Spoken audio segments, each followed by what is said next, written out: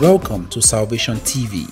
We produce and upload contents that provoke and prepare you for revival, with quality spiritual videos to feed your spirit daily.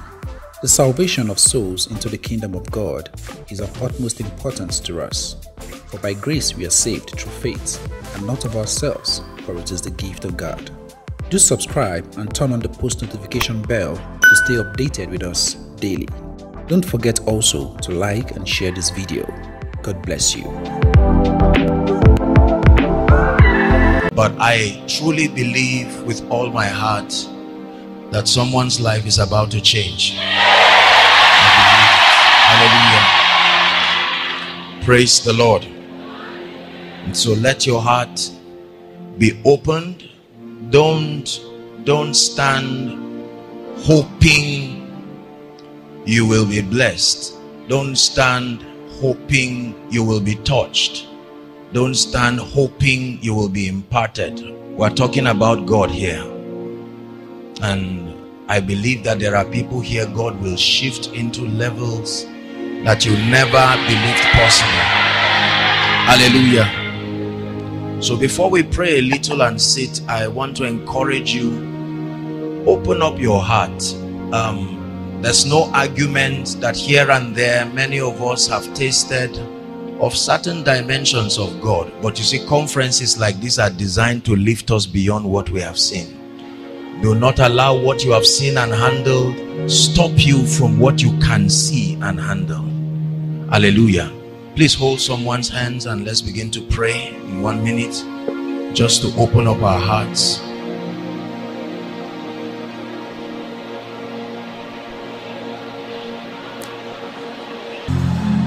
Be seated if you can, and then please be sensitive. You prayed for this meeting, you fasted for it, and He has come.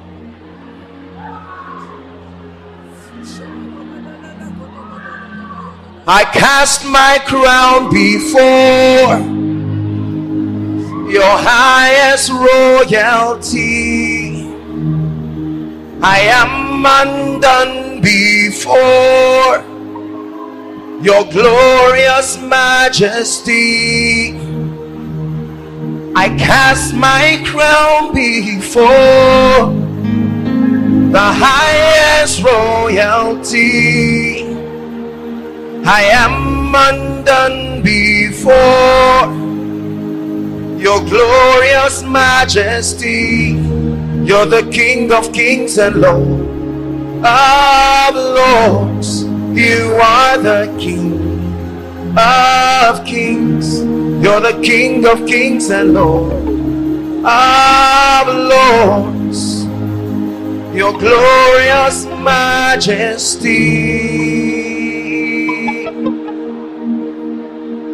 Yabone nakau Sujada ne Sir Salama Sir King Aljana Yabone nakau Sujada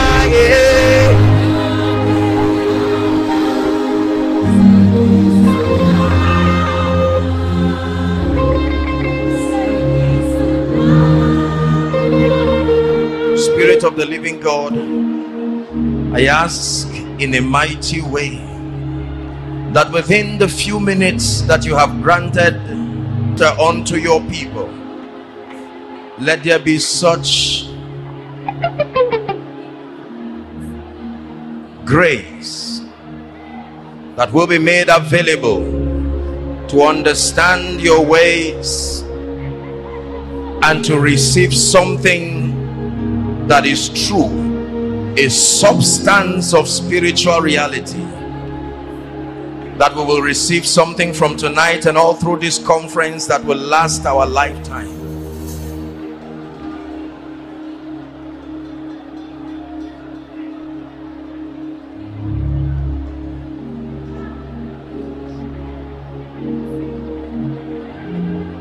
In the name of Jesus in the name of Jesus. Please sit down. See,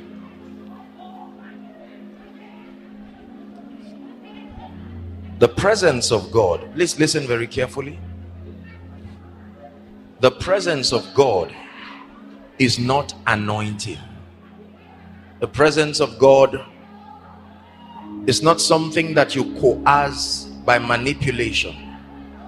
The presence of God is hosted through intimacy. It's not some spiritual gibberish that you try to fabricate just because you are ministering in the presence of people. No. You can fake power, but you cannot fake intimacy. You can fake miracles, but you cannot fake an encounter.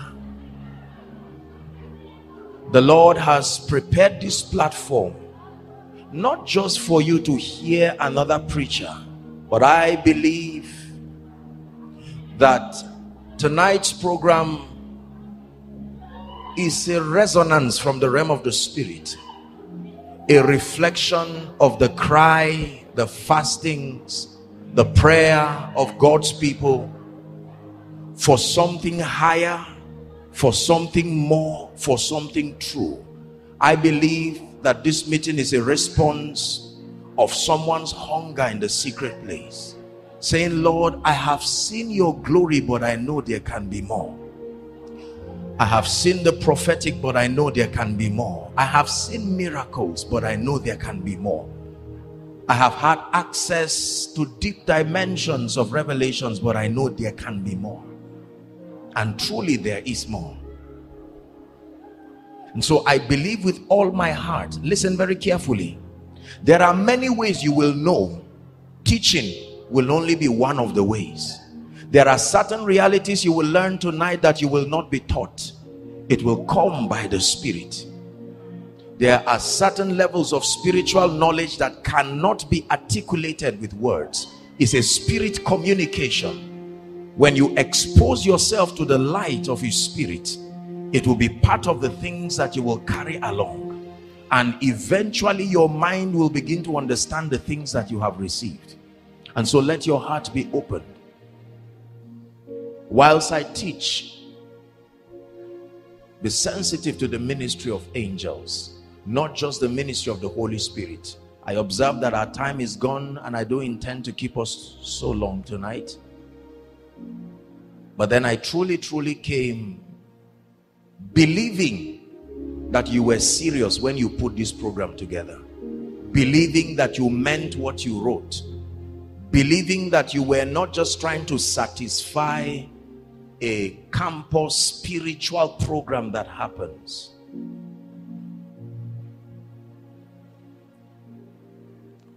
God only comes to those who mean it when they call him.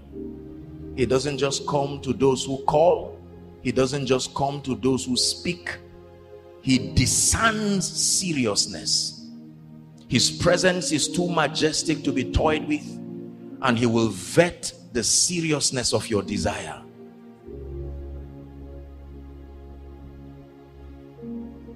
And this is what I believe the Lord has brought us to do tonight.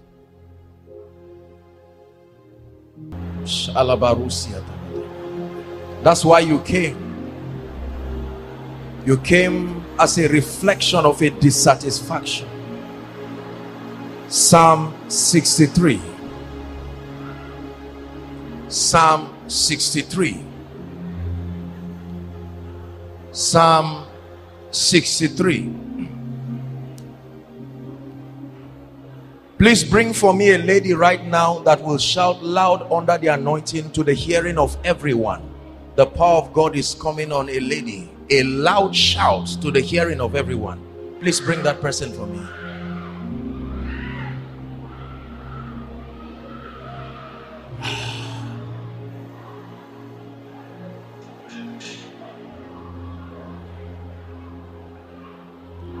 I stand I stand in awe of you. I stand, I stand in awe of you.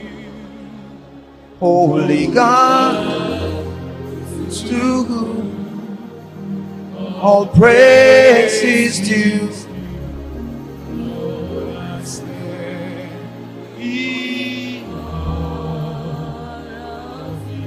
Psalm 63. Let's discuss something.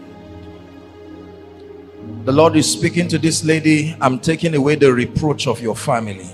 I don't know who this lady is, but is living right now, today, and forever, never to return. In the name of Jesus Christ.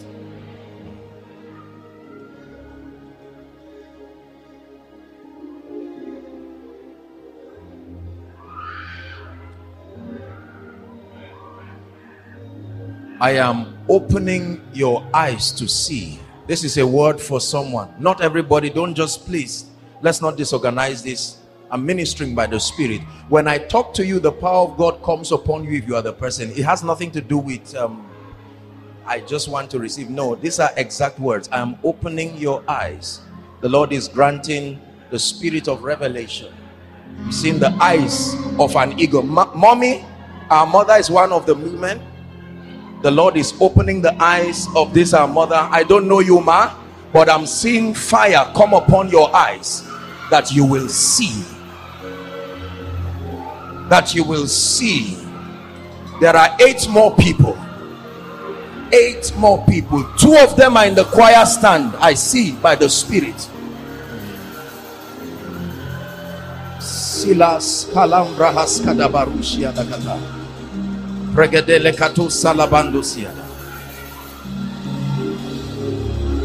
I see an angel of the Lord standing on this row and says there are two people right? Just please sit. You don't have to stand.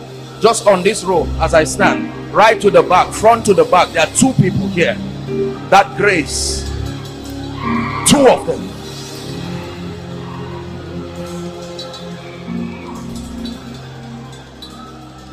Elohim Madonna.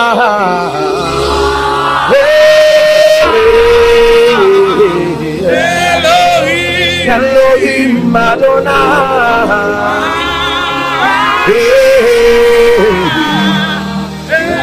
Hold on. I don't know if this guy is a man of God, but I'm seeing a grace for the prophetic. I don't know who this gentleman is. Please shift. This man on the floor we'll, we'll, tomorrow we'll take our time to do the impartation not tonight. I'm just ministering as a spirit. This gentleman on the floor i'm seeing a grace that is coming upon you. Your life will never never be the same. Never ever be the same. Never ever be the same. The angel of the lord is asking me to stand here. And he's saying there are two people here. Hold on please. You don't have to stand. The lord is granting you a strange grace from the miraculous signs two of you right now right now two of you stepping into that dimension hmm.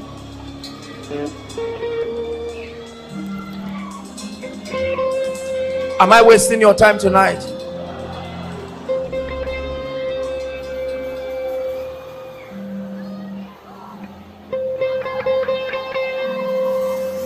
but thou, oh Lord, had a shield for me. You're my glory, you're the lifter of my head. But thou, oh Lord, had a shield for me.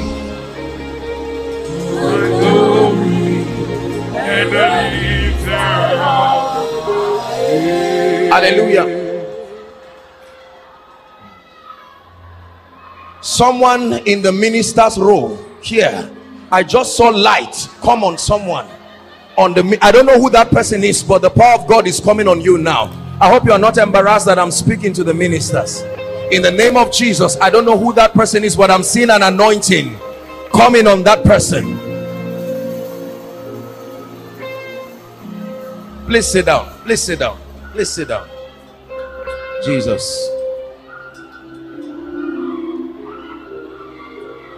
Sit down. Shabrandas Kebaru Sagadabalakatash. My God.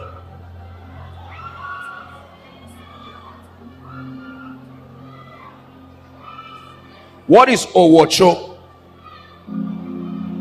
Owocho, is that somebody's name? Is there a name like that? Ah? Huh? Owocho, who is that? I'm hearing a name Owocho.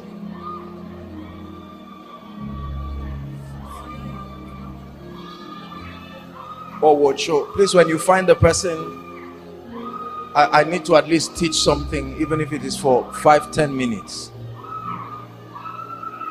Abigail. Who is Abigail? Abigail. I hear a name Abigail.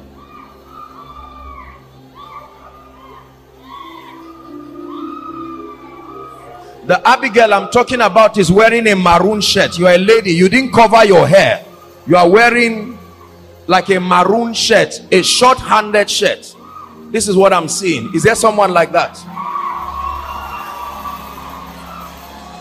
Who is that?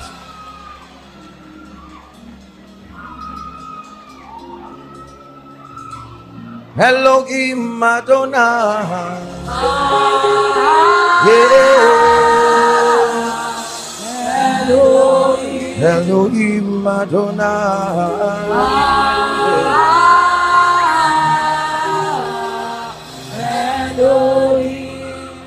Shalarus Kamarandash Kalabragedibas. My friend, look at me. Tap that gentleman. Ask him to look at me. Lift your hands. I'm seeing oil coming upon your head. I don't know who you are, but the spirit of revelation is coming on you right now. You will never be the same.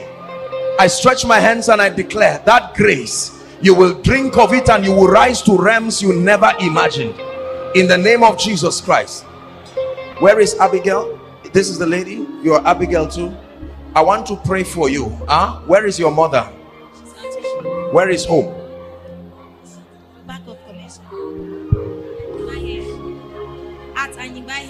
Okay, I will pray for you because I see the spirit of death roaming around your family. And the Lord is saying to counsel it. Don't be afraid. In the name of Jesus, I decree and declare what I am rebuking from you the Lord is rebuking from one lady in the choir now as I'm speaking. There's manifestation of the spirit of death.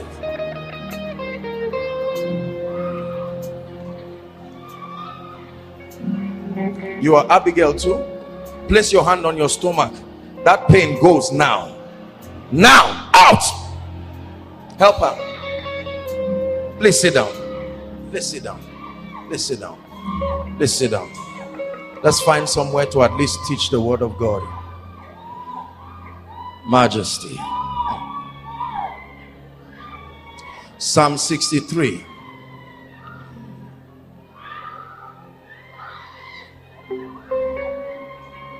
Psalm 63. I will be sharing with you from today and through tomorrow the secrets of the kingdom that make for a man, a woman, a territory to be mightily used by God. Please listen carefully. Don't, don't mind those under the anointing. They will not interrupt you. They will be silent.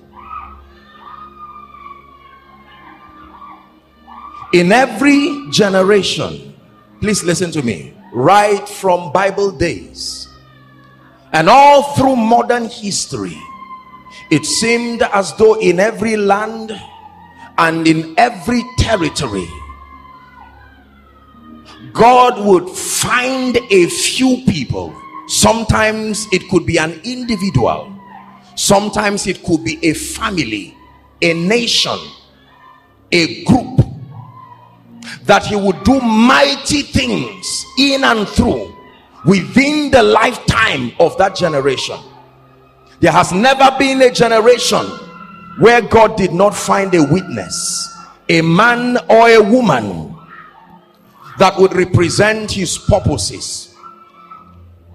Like he's finding you right there. The power of God is coming on you lifting your hands finding you. So in every generation there are men and women who by a formula that I will be showing you seem to posture themselves in an unusual dimension to be used by God within that dispensation. It has always been the cry of the Spirit to find men and women who will not only love God but will avail themselves God.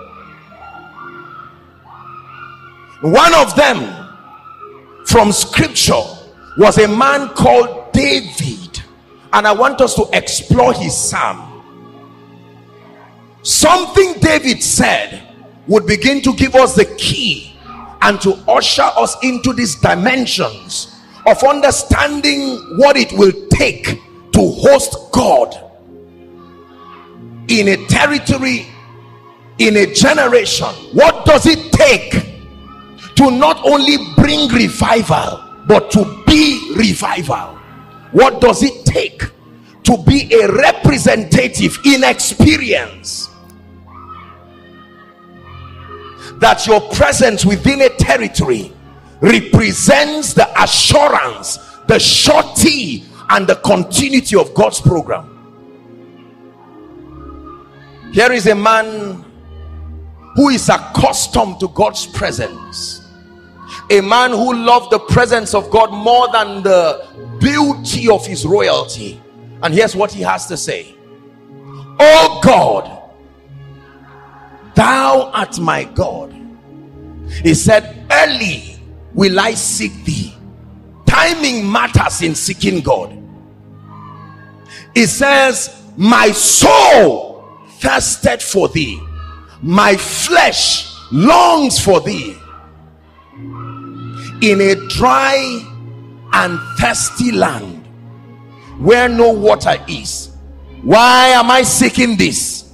It says to see thy power and thy glory so as I have seen thee in the sanctuary. Let me explain for you this prayer and this cry of this man of God. Lord why do I come to church and experience your mighty presence. Why do I experience signs and wonders? Why do I experience the grace to pray? Why do I experience a dimension of hunger when I'm in church? But then when I'm alone in my secret place I don't seem to be able to transfer my experience that I have in church to my secret place. He says I want to see your power in my life the same way I saw it in the sanctuary. When I went for a crusade I saw people healed. I saw people delivered. What was in that crusade that cannot be carried to my life? When I sat under a grace I saw possibilities. What does it take oh God to transfer this reality as I saw in church as I saw in a conference to my life it says to see your power. It was a cry for an experience of a reality that until then was only seen corporately.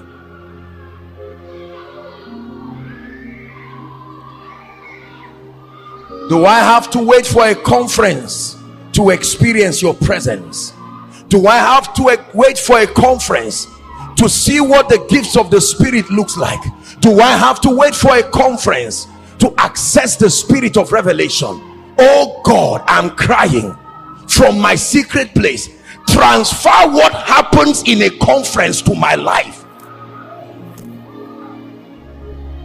Transfer the hunger that comes in a conference to my life. Transfer the prayer. Transfer the passion. Transfer the grace to see your power and your glory as I have seen in the sanctuary. There was a dimension of you I saw in church that I don't have in my life. I thought you don't speak again until I came to church. Lord what is wrong when I'm alone? Bring that voice to my secret place. Why do I pray two hours in church and I cannot pray five minutes alone, transfer that same grace to see it in my life so that I become a testament of the possibilities that reside in the Christ. Let me not only be a hearer, I want it in my life. This is a man praying.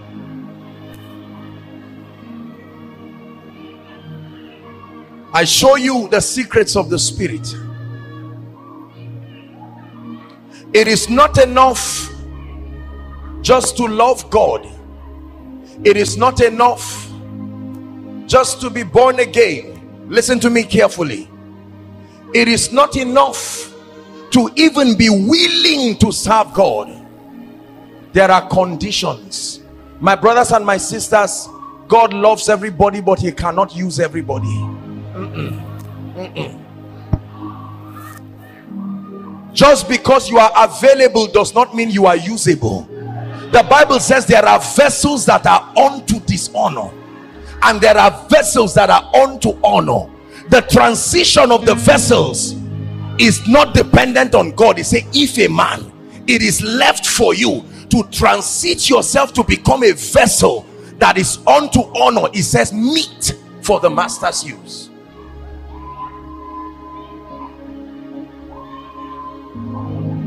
what then is the price to be used by God. What is the price my brothers and my sisters? To be a mighty vessel of God here in the land of Kogi state or in this campus. What is the price? If there is a price then this conference was designed to show you. What is the price that will make your song not only be a special number but a ladder that people will climb to the throne room. What is the price that makes your voice not only just the speakings of men intellectual communication theological exegesis? What translates your voice from just being a communicator to a revealer of the mysteries of the kingdom. He says my heart is inditing a good matter. Then he says my tongue is the pen of a ready writer. That you can write mysteries upon the hearts and the lives of people. What is the price? To pay that when men see you i hope you know that not everybody climbed up the mountain to see the face of God. God called only one man Moses. See my face. The rest don't need to look at me. They should look at you. They can have the same experience. You have come down from that mountain with something that is the same.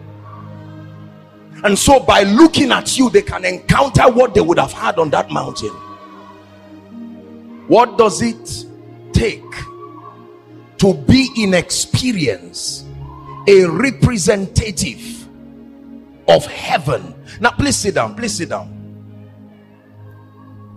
I will not keep you long. I love the body of christ and i am i am so honored to be teaching the collective the coming together of the church upon this campus it is a beautiful experience. Listen to me. The greatest need in the body of Christ right now is not necessarily more revelation. Please listen to me. There is no time in history I I doubt I may be wrong but I'm a, a student of the move of God. And there is no time in modern history where there is such a downpour of spiritual revelation in the body of Christ as it is right now. Men and women all over this nation all over Africa and all over the world have been granted by the eyes of the spirit to see dimensions in God to understand depths. This is not the generation where you impress people by the depth of revelation because there are people who have gone really deep. Listen very carefully. Your edge is not revelation understand what i'm saying don't write it down just listen to what i'm saying once upon a time where the basis for the respect and the honor that comes to you as a man of God is the scarceness of the mysteries and the revelations that you dispense. Why? Because at that time, very few people understood certain principles of the kingdom so far. So sometimes you could find one man in a whole territory who would be able to properly articulate certain dimensions of God. But no more because there has been a multiplication of the grace and the dimensions for revelation so that you can find even in a campus like this with students who are engaged in learning and still you will find men and women who are deeply grounded in revelation who have stretched their spiritual understanding from border to border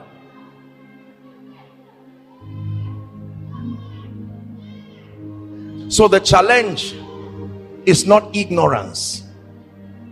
We know many things. There are very few things in all honesty any serious christian who has been properly mentored in this nation and in africa there are few things a man of god will teach that will be new. They will largely be fresh not new. Because by the grace of god and i boldly give credit to the many men and women of god within this nation and in africa. We may not have done the best but i think we have done something commendable to help the body come into some level of understanding. But let me tell you where the problem is.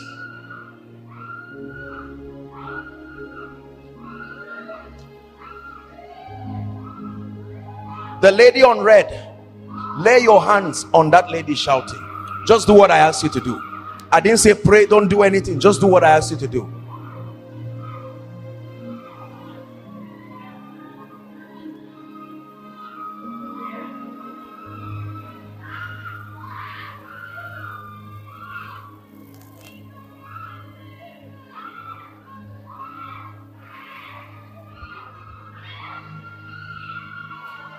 This just just leave just leave this lady you looking at me lay your hands on that lady. Just do what i ask you to do.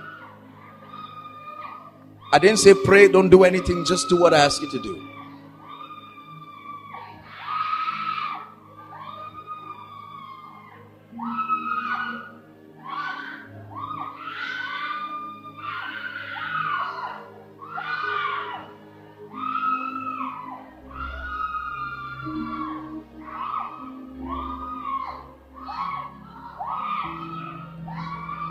Thank you, Jesus.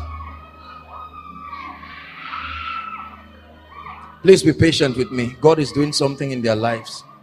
After which they will they are not shouting for nothing. They will be silent shortly. But there is something that God is doing.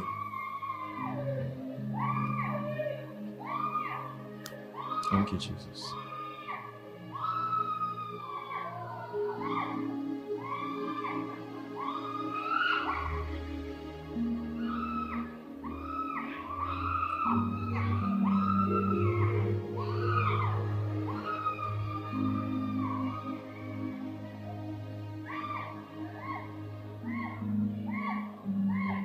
We bless you. Leave them. Sit down. Just leave them and sit. Let's continue. It's okay. Leave them. You're done. You finish your work. Just sit. Now, listen, everybody.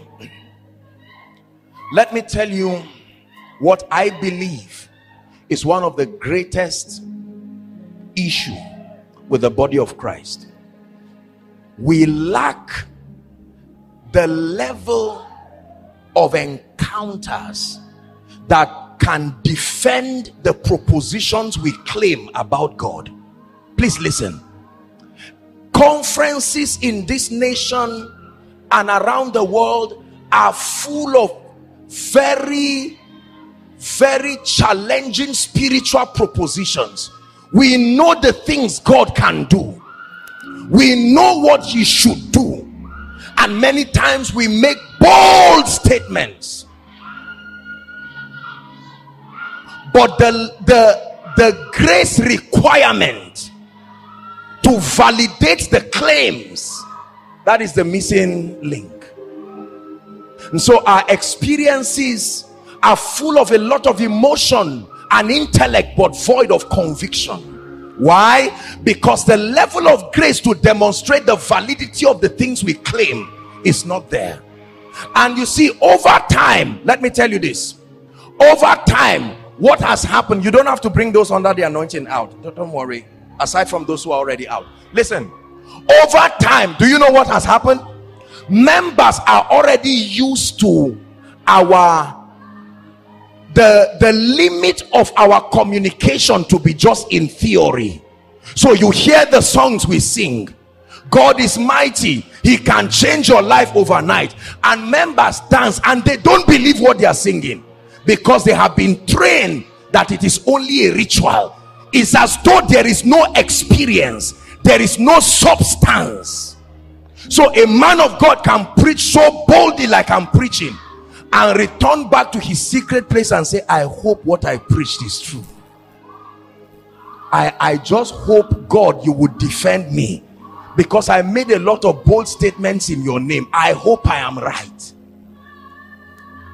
it's a terrible thing to represent christ from a standpoint of vagueness there is a level of persuasion and conviction. He says but i know whom i have believed and i am persuaded. Conviction. Conviction. So we sing all kinds of songs God can change a man's life and people say amen. God can lift a man. Amen. God can anoint a man. Amen. God can give revelation. Amen. And when all the theory is done, brothers and sisters, we stand and make God look like a fool in the presence of the people. So the psalmist said, I'm tired of pretense. Lord, show me your power. I do not want a Christianity that is only full of falling down and standing up and touching and turning people up, down. And there is no growth no transformation no substance of the reality of the life of God. Many things that we preach we are not truly sure of. We only heard men of God that we respect preach it so while listening to the message we took notes. And we saw that those notes are excellent. And we transferred those notes to our various platforms and preached it just like we had. But it has not become substance. Our results show that there is a gap between that revelation and our conviction. Are we together? The same way you can hear for instance a man of God write a song and you can come and stand and sing the same song. You can even kneel down and cry while you sing it. But you are surprised at the effect because every song has a grace and a presence that comes with it. But now you are singing that song but the people cannot discern the grace and the presence that should back that song. It means it was just a special number. Please listen brothers and sisters i want to show you a very powerful secret that will change your life. The challenge with the body of Christ is not ignorance. It is the substance of spiritual reality. The grace and the power to be able to validate the things we claim to know and have seen about God. How many people will tell you they have seen Jesus how many people will tell you they see angels every day? Go and read the Bible and see what happened to a man who saw just one angel. Yet we claim every time that we are seeing them on stage pastors and the effect that befits that level of encounter does not follow. There are people who claim to i'm not being sarcastic please. There are people who claim to see jesus every day and in every service. Jesus go and find out when Saul of Tarsus saw Jesus, even those who didn't see were affected, they knew something happened. There is there is something wrong, and if it is not corrected, a day will come after 10 years of ministry. You will turn back and say, Look, I've been lying, I give up. And all those who have followed you will say, So what do we do now? You say, I wasn't sure myself. I was led that way.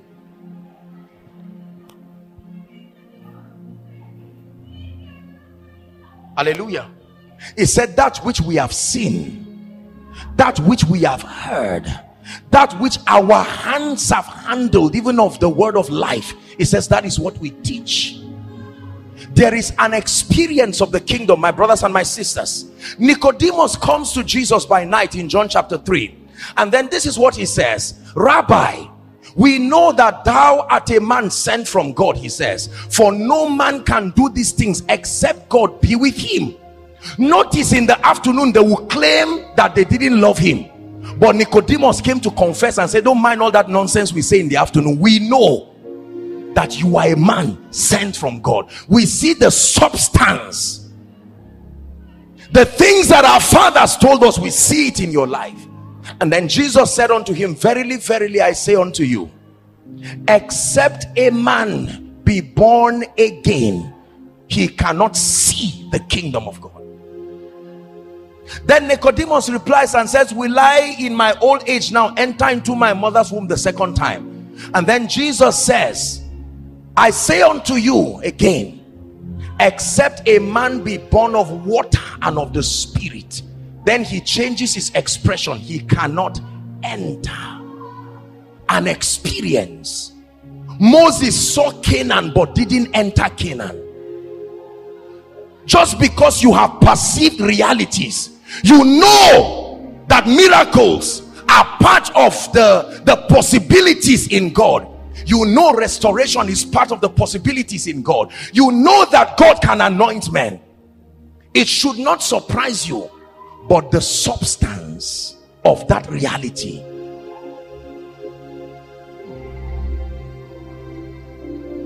you are not you are not in doubt that god can give speed. You are not in doubt that god can stay the hands of darkness over a family. See the kingdom. I know this is true. From where i stand i can see the possibilities but you need to enter into that experience so that it no longer becomes something you are saying. Are we together? That is the difference between faith and trust. Faith is based on the integrity of the one who spoke to you. You're believing the person you may not understand the dynamics of that operation. If i tell you for instance come my friend. If i tell this gentleman put your hand in my back pocket and you will bring out money remember he was not there when i was dressing. He will need faith for this to happen. He will have to go to the archives of my dealings to find out whether i have a track record of being a liar or not so he will find out who did you give this instruction to before and what happened. Based on the antecedents he will now believe me. But watch this. If i continue to tell him every day to pick money out of my pocket a day will come he no longer believes me because i'm a man of integrity. He believes me because of a track record he also has. That is trust you are not hoping it will happen. There is a track record. You are not hoping lives will be changed. And so you are also watching to see. You have also come into oneness with the ways of god. And you know that you know the experience of the kingdom. That when you speak as a preacher you are not asking someone so how was my preaching? How was the service? Were you changed no. You have come into an understanding of the power and the potency that comes with the word when it is explained properly and backed by the power of the Holy Spirit. You know lives will change.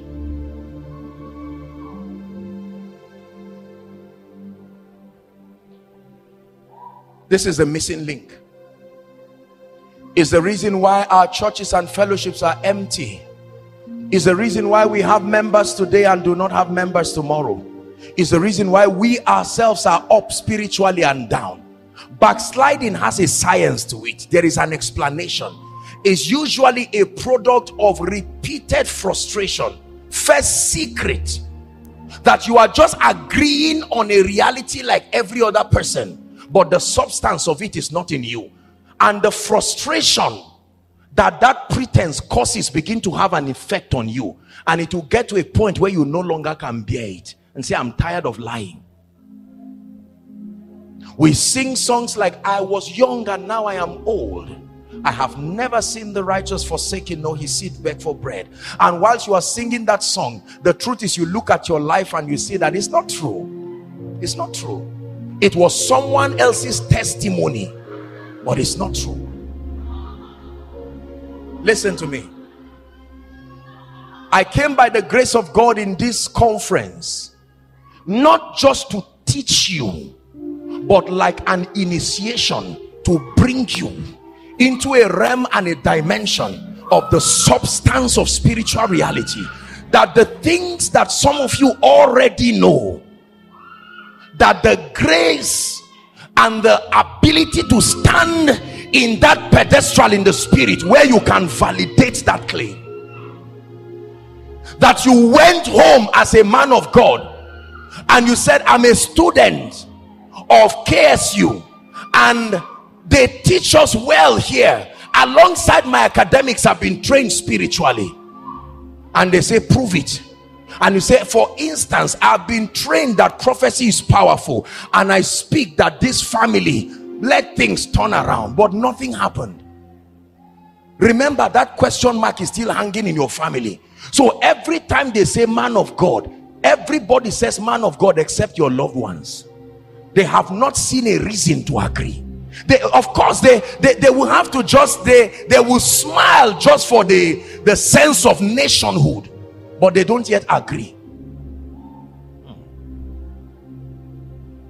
But the day you tell them i am truly a portal and a gateway from the throne to the earth and let me prove it father lift them just that prayer and heaven moves in a way and manner they will call you and say sorry um, what did you say the other time? You say no, what I said is not the issue.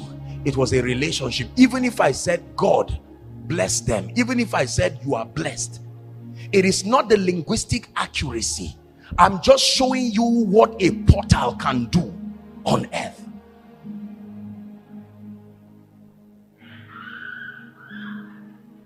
It is impossible to claim that you host God and then you stand in a place and the people cannot experience God. No, it's not about power. Listen, it's not about calling for manifestation, it's the effect of the dimension from which you stand in. Listen to me, read the Bible. There was no time when a man was open to a vista in the spirit that those around were not affected by it. They didn't have to believe. Once you open a gateway that is higher than the three-dimensional realm everybody within that spiritual circumference must know it's true.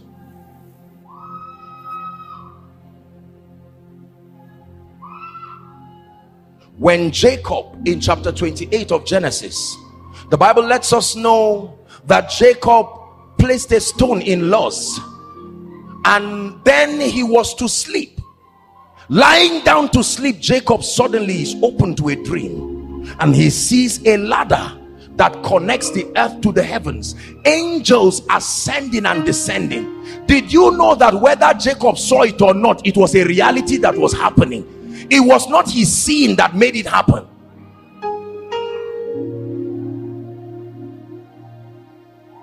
And he said the lord was in this place and i knew not. He said surely this is the house of god the gate of heaven that means there is a condition for every place to be called the house of God. It must have a gate from the ground there to the throne room. For any place to be called a church a place the house of God the requirement is that there must be a portal from that place that touches the throne. If it is the house of God it must have a gate that opens to the heavens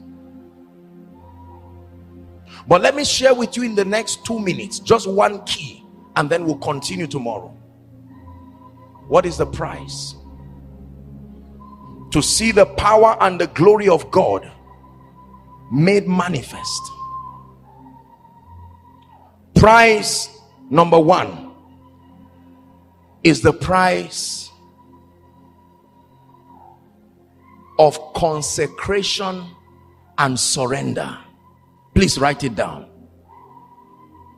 The first spiritual requirement for any man any woman any church any organization any territory to be able to host god in superior dimensions within the lifetime of that dispensation. Please listen very carefully. Now let me teach you something you need to understand um uh, like i said tomorrow by god's grace we'll have some more time to teach before um, we do the impartation and so on and so forth. When you read Ephesians chapter 1 and verse 3 the Bible tells us that thanks be to the Father of our Lord Jesus Christ who had blessed us with all spiritual blessings in heavenly places in Christ. Everybody say all spiritual blessings. So you have to understand certain information here. Please look up. Number one that we have been blessed with how many spiritual blessings? All spiritual blessings. But that they are routed through the christ. That means for the believer listen carefully the foundation of your spiritual journey is your encounter with the christ. Are we together now it is it has to be in that progression that when you encounter the son of god apostle john was writing and he said this is the record he says that god has given us Zoe we call it eternal life. He says and this life is in his son so that whosoever hath the son hath that life. Are we together now? So when you encounter the son of the living god you have his life and part of the packages that come potentially as apostle paul is teaching the church in ephesus is that we have been blessed with all spiritual blessings. That they are spiritual in context. Number two that they reside in the heavenlies. Number three they are only routed through the christ. Now you on I, I, there's a reason why i came to this scripture. Because many believers and i'm glad that there are all kinds of denominations here and you need to understand this it is a fact that the realities that we seek to come into are not things that God is necessarily trying to give us. They are realities that have been provided for. They reside in the Christ and that they are accessible to the saints when the saints are in the Christ. Are we together now? This is doctrine. You must understand this. It's very important. So you are not necessarily trying to coerce or manipulate the hand of God to release something that is outside of the possibilities that have been resident in the Christ. The Bible says all spiritual blessings and that includes the grace that you seek to experience within this conference that it resides in the Christ. Are we together now? But the second thing I want to teach and that's why I brought forth this scripture. We're rounding up is that there are two dimensions please listen in the dealings of God with man as far as his word reveals to us there are two dimensions of his spiritual operation say two dimensions when God speaks he speaks from these dual dimensions and if we do not understand it it will be both the origin and and and the the the the basis for our confusion our imbalance, our error, and our lack of experiencing spiritual realities. The first dimension I call it the prophetic speakings of God. Now listen, when God speaks, he speaks from a prophetic dimension. It is in his character. I hope you know that God is not limited by time. Are we together now? I hope you know that God is not even limited by eternity. God cannot be limited by eternity because eternity is also a function of time. Eternity is the summation of infinite dispensations. It is also governed by time. The Bible says in Genesis chapter 1, it says, In the beginning, not from the beginning, in the beginning, God created the heavens and the earth. That means He was in neither of the two. You have to be outside a thing to create it. Are we together now? Please listen, listen. Sit down, sit down. I'm teaching you something. So if he created the heavens and the earth, he was somewhere that was neither heaven or earth. Are you getting what I'm saying now? Yes. And when the apostles saw him, he called that realm a dimension of unapproachable light. Please listen very carefully. Understand what I'm teaching you. So when God speaks, he speaks from that uh, dimension is not a good word. He speaks from that realm. And based on that realm the communication should not look like it is time dependent. That is proof that it came from his realm. That means if god talks to you from that realm he will not attach time to his speakings. He is alpha omega. The word and is not there alpha omega. When you say god is alpha and omega it means if he is in one place he can't be at the other place. And here i can't be both at the same time. But when you call him alpha and omega he does not have to be in the end. Are you getting what i'm saying? That dimensional concept of movement to get to the end is something that only humans experience. In fact even once you are higher than the three-dimensional realm some of those dimensions don't even exist. Please listen very carefully. So he is alpha omega. That means that in the speakings of god if you just stay and listen raw just the way god talks you are not going to know whether the thing has happened or will happen. Everything from god's standpoint has happened there is no future in God. God does not have a future. Please understand this. If God has a future who is bringing it? The, the concept of tomorrow listen please. You need to understand this thing. The concept of tomorrow does not happen with God. The concept of forever does not happen with God. They are borrowed terminologies to help the saints understand God in his realm those vocabularies don't exist. There's no such thing as tomorrow. There's no such thing as yesterday. In fact there's no such thing as today. In God's realm is now. Please listen. Now that's a realm that no man can understand by himself. So you will understand how the Bible was written when the Holy Spirit came upon holy men they wrote they did not understand what they were writing. When you read the Bible you are going to see a lot of spiritual realities that the Bible tells you have been finished are done. For instance from the foundations of the earth, the lamb was slain.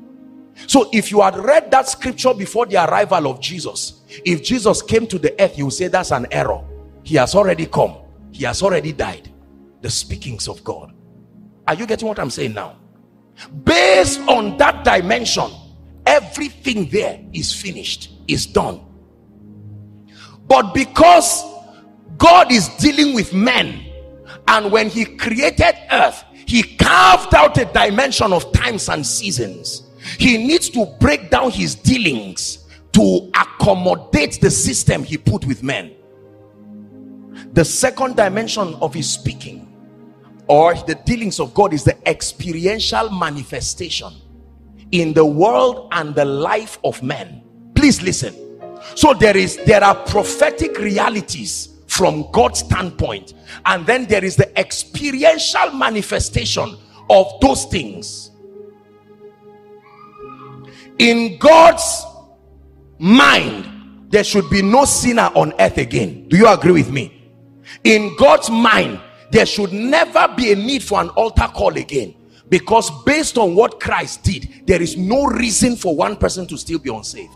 But in experience there are still people going to hell. In experience there are still territories that are unsaved. So when you go to save sinners you are not negating the reality of what christ has done. You are creating the platform for it to manifest experientially in the world of men if you don't understand these dimensions i just thought you will never be able to walk in the power of god. Because when god speaks to you you think he will say i will anoint you. He will look at you and say i hope the anointing is working in you. And you say lord which one now? That's his realm. When god speaks to you he does not say go and farm. He says i hope you are eating the crops. And he said, God, for which farm now? While he's talking, seeds are not yet on the ground. You have to know how he speaks. You have to know how to translate his speakings to edify you. This is the mistake with the body of Christ. So we pick the prophetic speakings of God, bring it to the world of men, and act as if the world of men does not have time component. It does. Hmm. There are times and seasons when the word came to the earth what happened he grew. Everybody say he grew. He subjected himself to time and process and jesus grew. Why would the word grow? But he grew. So while it is true that god has given us everything i'm digressing a bit. I've not even started explaining point one. But then I'm teaching you that everything you are about to receive from God's prophetic standpoint has been given to you. But you're receiving it in experience is not like many people may want to look at it. You are not trying to negate the fact that Christ has given it. You are aligning with the conditions that make for it to be manifest in your life. For instance, let me use a common example we talk a lot about the blessing, right? The, the blessing of the Lord. I know you know by now, you've listened to preachers all around the world that say you are already blessed. You are not going to be blessed. You are blessed. But you put your hands in your pocket and bring it out and you will find reason to think again and say, so where is it? So when you get a job, for instance, and they begin to pay you salary and you put your hand, remember two years before you put your hand, you were blessed and nothing happened. Two years later you put your hands with a job and now money is coming out for instance. And you look at it you it is not your your walking now gave substance to that reality. Are you getting what i'm saying now?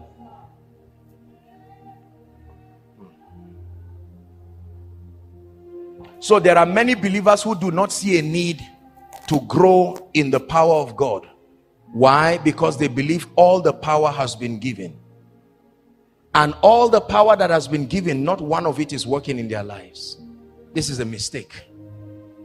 The prophetic speakings of god. Is not a lie. But the ability to come to the world of men and translate that reality is not there.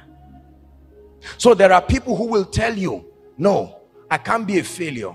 The bible says i'm a success and you are right. But in experience there is nothing that shows that so Paul teaching the Hebrew says, he was quoting the Psalm of David. He says, there is nothing to be put under his feet that he, do not, he did not put. He said, but now we do not yet see. We do not yet see. Hebrews chapter 2 and verse 6. I apologize. Um, just give me two minutes. You see why I was contemplating whether to teach or not. It takes a while to help people understand. Let's go to verse 8 so that I just round up. Verse 8. Okay, let's or 7. Let's look at 7. That's that's what I'm really looking for. Now, watch this. Thou hast made him a little lower than the angels. You know that you know that scripture, right? The Psalm of David. He's quoting it now. And has crowned him with glory and honor. Notice, he has done it already.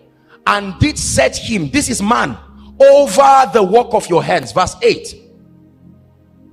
Thou hast put how many things? is talking of the prophetic dimension of God's reality. Thou hast put all things under his feet. For in that he put all things in subjection, he left what? Nothing that was not under him. That means in God's mind, man, you have total control. But now in experience, but now, but in our realm, but in this frame of reality, we see not yet it looks like a contrast. No, it's the same explanation from two different dimensions.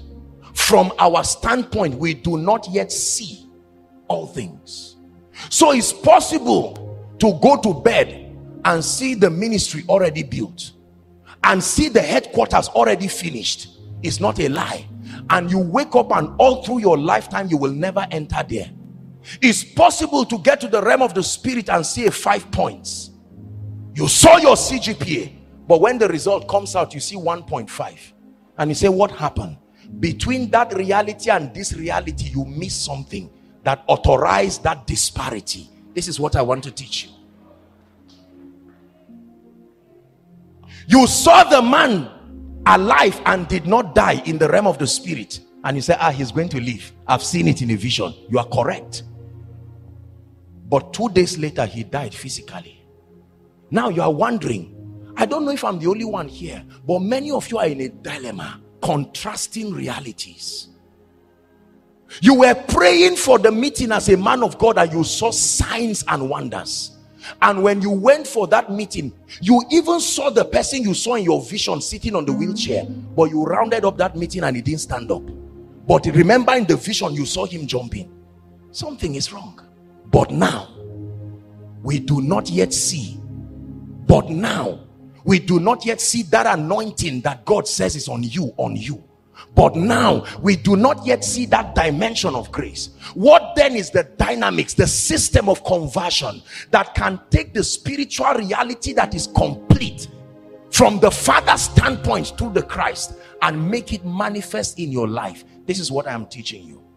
I took out all this long journey because we come from different ministries and different denominations. And if i approach the subject of consecration and surrender just hearing it without this explanation you may be in the dark. There will be contrasting beliefs. Are you getting what i'm saying now?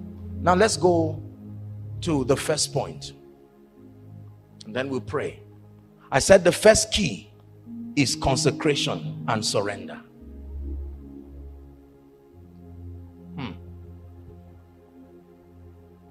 No, not Ephesians 1 3. That's not the verse for surrender. I just digress to put the scripture there. The Bible says, listen to me. It says, nevertheless, the foundation of the Lord, please listen to me, standard sure. Having this seal, there is a seal on that foundation. The Lord knoweth them that are his. That means not everybody is his the Lord knoweth them that are his. And then he says, Let everyone that name the name of Christ do what? I thought naming the name of Christ should have freed you from it. He says, if you name the name of Christ by yourself, depart from what? Iniquity. Verse 18. I mean, I'm 20 now. I meant to say. But in a now, this is not talking about notice that all the vessels he's about to mention are inside the great house. None of this vessel is outside the great house. They are all inside. Both the vessels of honor and dishonor, they are all inside. So he's talking about a family affair. Just because you are born again does not mean that is all you are in that house like the ark of noah but there are different levels and kinds of vessels the bible says but in a great house listen there are not only vessels of what gold and silver but of wood and of clay or earth. He says some vessels are unto honor and some unto dishonor. 21. What is the condition? He says, if a man therefore shall purge himself from this, he shall be. He shall be. That means until then he is not. He shall be a vessel unto honor, sanctified, comma, and then meet for the master's use. The master wants to use men, but not everybody in that house is qualified to be used. Please listen to me, believers. There is a level of genuine surrender. I hope you know when you give, when you get born again. I know we say that you gave your life to Christ, but that's not the condition for being born again. In being born again you don't give your life to christ. You receive his life. There is no mention of a man giving his life to christ to be born again. When the bible talks of giving your life it talks of surrender for service salvation is receiving the life of god. When god now begins to make demand of your own life then it is because he wants you to be used. I beseech thee therefore brethren that you what? Offer your bodies. He was talking in terms of service. Offer your bodies unto god. Holy and acceptable he says which is your reasonable act of service or worship i tell you why many believers cannot host the power of god i tell you why many people cannot walk in the dimensions that they desire in christ we do not know the difference between being consecrated or not being consecrated. We just believe generically that every vessel, just because the Lord is rich unto all, we believe that automatically we are okay like that. No, sir. Truly speaking, let me tell you sincerely, there is a depth of surrender and consecration, a separation, an understanding. Listen to me that Christ must be Lord and must be priority and must be everything. The jealousy of God does not allow him to share a place with anything in your life. It is not enough for God to be in your heart. Where in your heart is he? Your heart is like a chamber. Your heart is like a house. If I'm in your toilet, I'm in your house. If I'm in your garage, I'm in your house. But I, I will not be honored being in the garage in your house. So it's not enough for Jesus to be in your life. Where is he in your life? He begins to cry until he sits at the throne of your heart. Let me tell you this. The price of surrender is death. Everybody say death. Hmm. You may not like what I'm saying, but it is true. The price of genuine surrender and consecration is death. You must become a living sacrifice. A living sacrifice. It says, So then death walks in us, that life will walk in you. Only dead vessels can carry God. The weight of God is too heavy for you to carry when you are alive. I have been crucified with Christ. Galatians chapter 2 and verse 20 says, Nevertheless, I live, yet not I, but Christ that lives in me. He says, And the life that I now live in the flesh, that is the body, I live by the faith of the Son of God who loved me and gave himself for me. Believers, let me tell you this the degree to which you have died, death to the flesh, dead to the things of this world, a detachment experientially he says, Love not the world, neither the things of the world. He's not saying don't have them. The word is eros. An affinity to the things of this world that can make them become God to you. He says, Love not the world, neither the things that are in this world. He says, Whoever loves um this world, the love of the Father is not in him. Then he categorizes the things of this world into three the lust of the flesh, the lust of the eyes, the pride of life. I have seen many preachers who want the power of God, and their motive, they are not yet dead. The reason and the motive is to have something to outshine others. The reason you know you are dead when there is only one word in your mouth. Lord, it is not my will, but your will be done.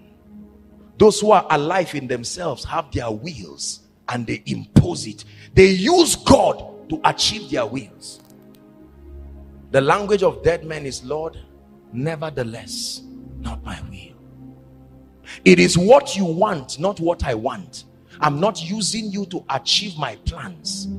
I stand back and I allow you to be Lord in experience of my life.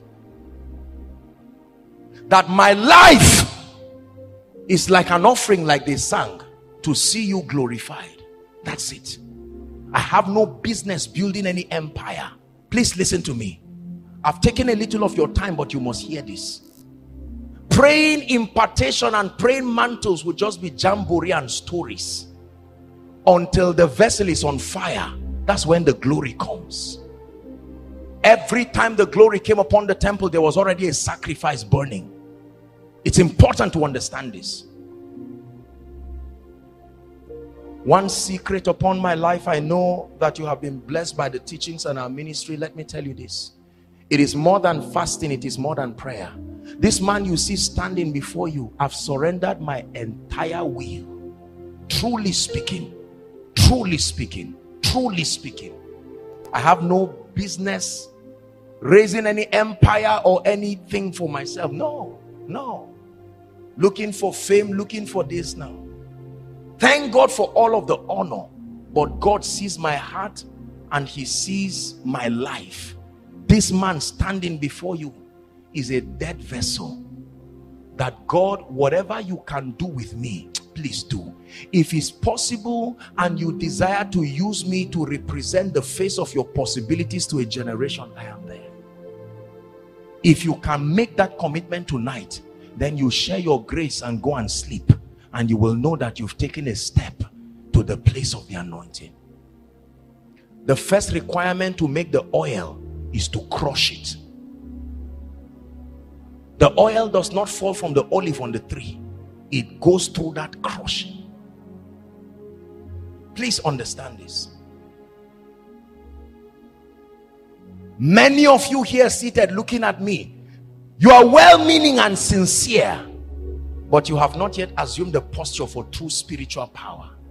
The corruption and the tendencies that reside in our hearts. And please don't feel bad. I'm not trying to insult you. I love you with all my heart.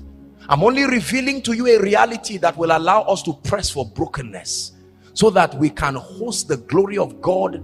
And the glory of god will feel comfortable on you the same way it is in heaven. There will be no difference because you are broken completely. Surrender not a name for yourself. All you want is to see Jesus glorified. All you want is to see his kingdom come. Not to build an empire apostle Joshua Selman have you heard about that great man of God? Have you heard about those wonderful things? Thank God for those things. But my brothers and my sisters if you are trying to use God as an instrument to get fame his jealousy will fight you he sits in a class all by himself. God can give you something and still fight it. When it, anything that stands his way including you is his enemy. I show you the first key. Surrender. That's it. You can fast and not surrender. You can pray for eight hours and not surrender. Just because you were told that prayer can activate the anointing you go back and pray and dissipate a lot of spiritual energy in hope to draw every ounce of strength. You can study greek and hebrew words with the desire to prove your level of spiritual competence. And by so doing gain some kind of respect among the space of men of God and believers and the heart of God continues to vet your sincerity. While all of that motion is going on you find out that you fast for 40 days and you never live with any power. You study and study and study and you never live with any power because all those things are only activated on the altar of surrender. Spiritual activities are useless. The key to god's power is not fasting the key to god's power is not prayer. The key to god's power is not night vigil. The key to god's power is not sowing seeds. All those things only make sense when you are dead. Try them from the depravity and the corruption of your heart and you will be disappointed. Is the reason why many people do it and when they don't find it they say this man something is wrong because i did what i think should. Not a a a, a charmer. Take it down mike. Let's rise. For your glory I will do anything just to see you, to behold you as for your glory. Lord, I will do anything just to see you to behold you as my king. Wanna be where you are. Wanna be where you are.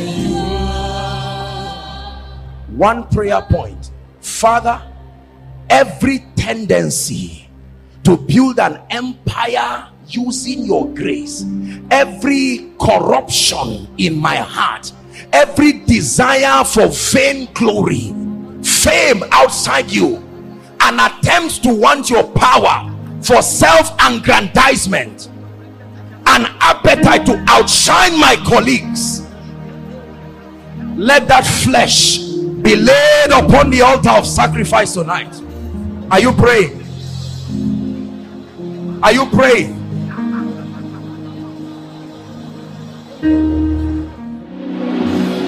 Hallelujah.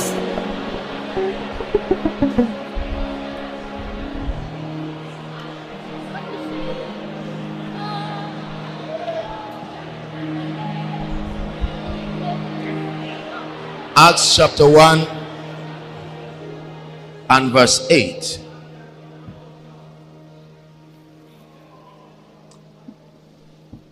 Jesus had mentored the disciples. We'll sit down shortly training them. Please sit, sit. Go ahead. Jesus spent three years plus mentoring his disciples, teaching them the ways of God. And then he departed, routing through the gate of death. Please listen carefully. Then they were now confused. He had spoken to them about the reality of the Father. He had spoken to them about the possibilities that the kingdom he was proposing to them carried. And now Jesus had gone and they were afraid. To the point that Peter felt disappointed alongside the other disciples. And when you read John 21, don't turn there. He said, I go a fishing. Let me go back to what I was doing before he called me. Because it looked like there was no future to his destiny again. He had left fishing to follow Jesus in hope that Jesus would conquer Herod and Caesar and establish a new kingdom. And that being the members of his cabinet, they would find a place when he were exalted. Now Jesus had gone and left them in trouble. So in that frustration, Peter said, I go a fishing. Then the other disciples also said, We go with you. Let's return back to our lives. Cut the long story short, Jesus comes back to life. And then eventually they are in the upper room, the same room where they had the communion. And the Bible says, for a period of 40 days after his resurrection, he kept teaching them on the matters of the kingdom the remaining part of the lecture he did not cover. He was quickly trying to cover it. Are we together? And in one of the teachings, he began to speak to them in Acts chapter 1 about the restoration of the nation of Israel, the physical restoration that happened historically. He was telling them that a time would come when the nation of Israel would be free from the liberty, the influence, and servitude from the Roman government. So they were excited. And then they said, Will you at this time restore the nation of Israel? Jesus replies and says, It is not for you to know the times that the Father has put within his care. Then, verse 8, he says, But ye shall receive power. This is the information that is sufficient for you. That you shall receive power. Anything you can receive, you can reject too. But you shall receive power. After that, the Holy Ghost is come upon you. Now, please listen very carefully. He didn't say you will receive power and choose whether you love and want to be with the Holy Spirit. No. Rephrase this that the Holy Ghost will come first. And then, in His doing something to you, you will receive power. It is not the power that brings the Holy Ghost, it is the Holy Ghost that brings the power among many other things that he brings and then the bible says that that ministry of the holy spirit please listen alongside the power that he brings will make you a witness everybody say witness it says you shall be witnesses unto me both in jerusalem in judea samaria and to the uttermost part of the earth this is jesus teaching now and when he made this statement, the Bible tells us that he stood and began to levitate into the heavens. And a cloud of witnesses came and received him. And two angels came and comforted the people. And that was the end of the matter. Now, listen very carefully. You shall receive power. But the first thing that will happen to you, come, is that as a naive, weak believer, he said a personality will be introduced to you. Give me your hands. The Holy Ghost. That it is in partnership with the Holy Ghost that eventually, among the many things that He brings to your life, is power. Please listen. That means that when you reject the Holy Spirit and all that He represents, you will also reject the power that comes with Him. You have to understand this. Many believers want anointing. Many of you want a situation where you see very heavy spiritual power at work in your life, in your ministry, in your academics, etc. And it is God's desire to make you that anointed, but not outside of the Holy Spirit. Please, you must understand this. When you meet with a herbalist, he will conjure a charm and give it to you. A personality, physically as it were, does not have to follow. You don't even need a relationship. It was so designed that spiritual power in this kingdom is a derivative of a relationship. Please listen carefully. You don't need to know the name of a herbalist to receive his charm. You don't even need to know his tribe. You just need to come and say, Mister, I need A, B, C, and he gives you something, and you do the rituals, and that's it. But in this kingdom, that when you desire power, the power is towards something, being a witness. But first and foremost, you are not qualified for that power until God sees the regard. Come for the Holy Spirit. So the Holy Spirit comes first. And then what happens between you and him? Now, listen, please. Oh, dear. I pray that God will give us understanding. We will pray. You know, because of things like impartation, because of things like mediums, you can carry a handkerchief, oil, etc., etc. Most believers are gradually getting away from the need and the appetite to know the person of the Holy Spirit. Why? Because it looks like it is very difficult to relate with him. So I easily relate with an oil. I'm seeing a bottle of oil anointed by an anointed man. I place it on my head and right, I begin to work miracles. We like those things. Impartation is not wrong. You're going to receive it in the night. But listen to me very carefully. I teach you the path of sustainable spiritual power. That the Holy Ghost comes first. It is the ministry of the Holy Spirit in your life. There are certain things that He does in your life, and then it qualifies you to now not only host His power, but to be able to dispense it in a way that translates you to be a witness. Listen very carefully. Your assignment, as revealed by God Himself, is to be a witness, not a man of God, not a student, not a banker. Listen carefully, not an apostle, not a prophet. All of those things are the geography of your witness.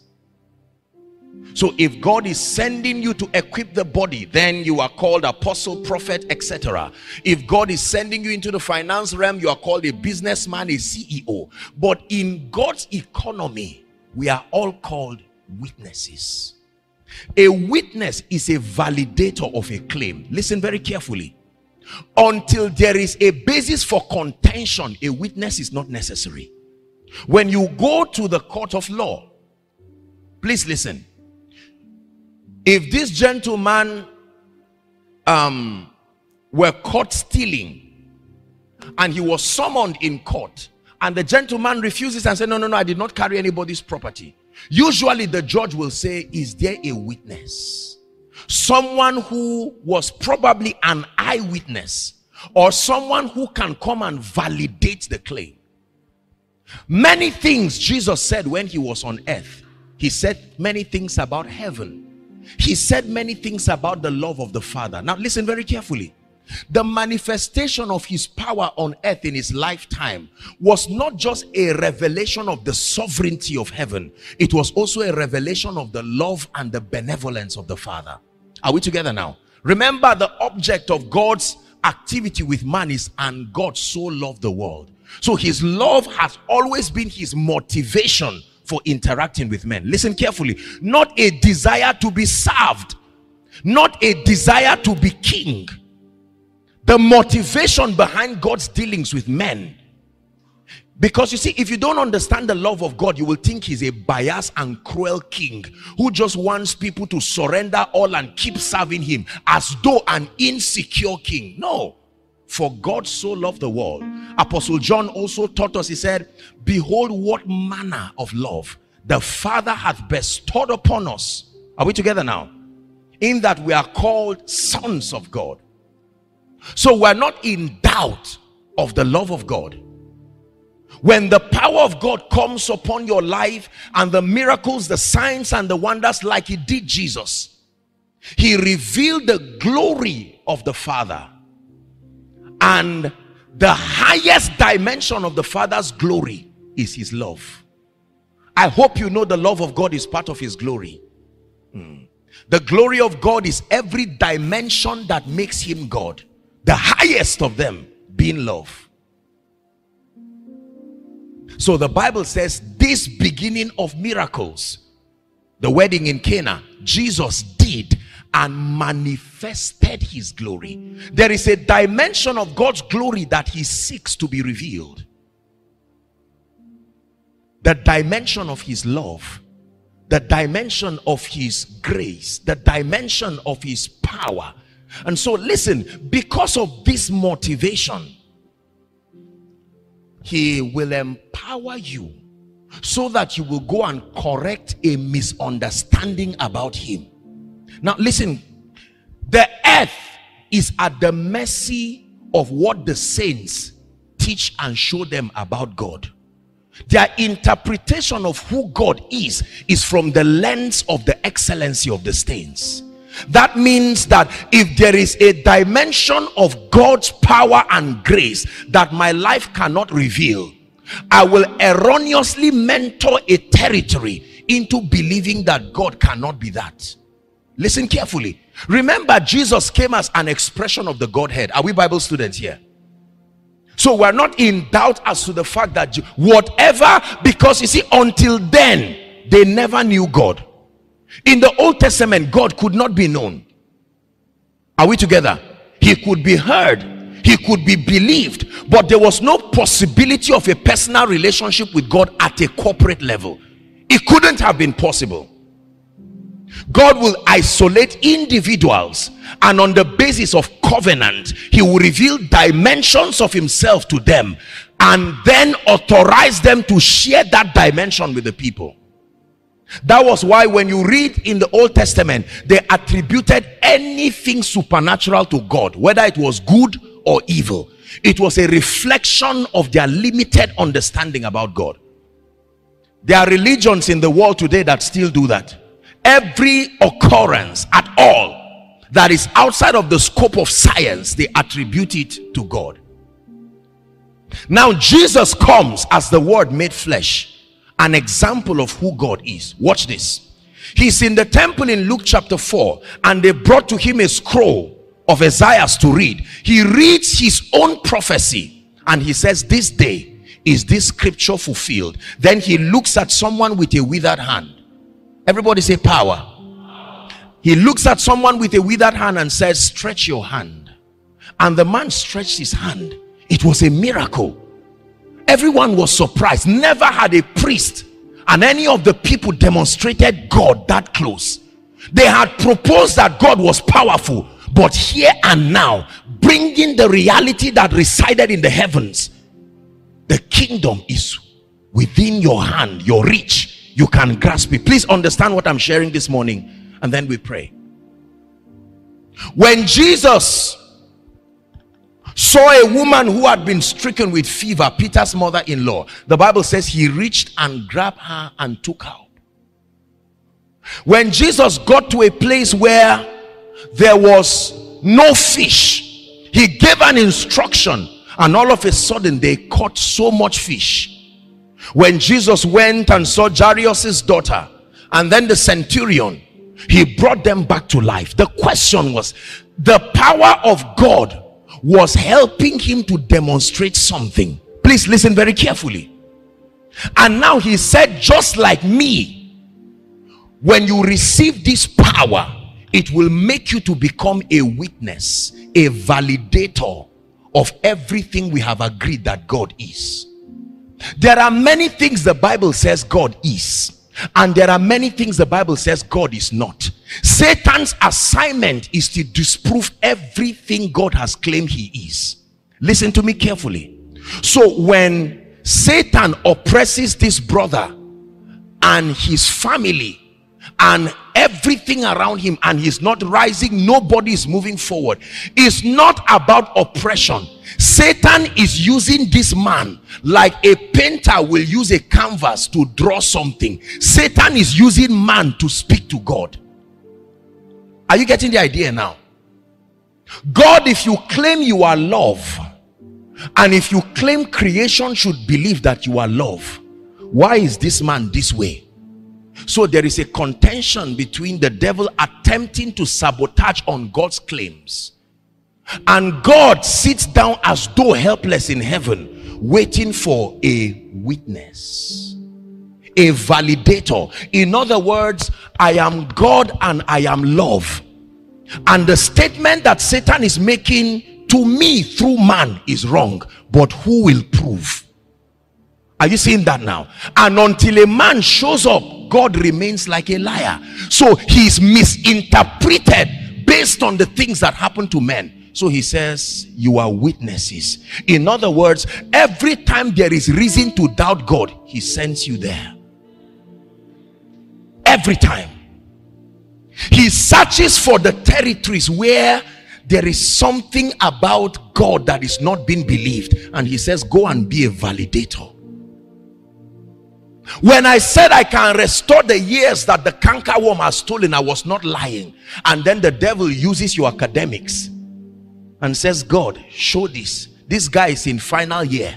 One more session. Come and prove that you can restore. And God says, All right, let me show you what my kingdom and the power that resides within it can do. And in one session, how many sessions? One session. Something will happen that you may not, it will surprise you. That in your second semester, they go back and say, Sorry, we don't understand what happened, but a mistake was made in your CGPA. There's something we discovered two years ago. It's not about CGPA. God is speaking back to Satan. I control time. There is something I can do. Listen, you have to discern the purpose of power. So there are statements from Satan to God, from God back to the earth. And the microphone that is used to speak is man. When Satan tears down your family, he's doing something to you. That's why many of you go back to your parents and they say, Look, this God thing, we did it when we were young. We're serious and we served God, and He didn't do anything. You see, an understanding was incorrectly constructed by the absence of power. The power of God could not be made bare and so certain results could not be seen. And that lack of result created an understanding about god that is dangerous and faulty. So he says where is the witness that can arise from this family? And for many years nobody will be able to arise. And then suddenly you show up you show up with a lot of zeal but no power. You see that? You shall receive power. There is a lot of points to prove on earth jesus says. But i cannot send you this way you must receive power. First, the Holy Spirit is introduced to you. And there are many things that He will teach you. Jesus Himself was talking about the Holy Spirit. He said, I have many things to tell you, but ye cannot bear them now. He says, How be it when He, the Spirit of truth, is come? He says, He will guide you into all truth. He will take that which is mine and He will give it to you. He will show you things to come. Is that not what the Bible says the Holy Spirit will do? So he comes into your life and begins to activate your organs of interaction with the realm of the spirit. And he helps you to know the word of God. And he constructs your spiritual understanding to be able to host greater dimensions of his power. Then as a reward for your staying with him, you receive power. It's not something that generically happens. I think there is a lot of um, you see, let, let me teach you something. And I don't mean to be sarcastic. Love everybody. But please, before you receive from people, vet the results that follow what they say. Be careful to not just swallow things out of loyalty to people you have to be sure that when people communicate certain dimensions of spiritual reality, they have sustained the grace and the power to validate that claim. Otherwise, you may believe a lie for a long time and suffer sincerely. It says to be careful lest your light be darkness. I say this because there are several people, and I say this with, with a lot of respect and regard to the body of Christ I've heard several people teach about the anointing, write books about the power of God, and I submit to you sincerely, very few people truly understand the power of God. It's true. Very few people. It's the reason why there is a lot of knowledge and there is no genuine manifestation of the power of God in the body.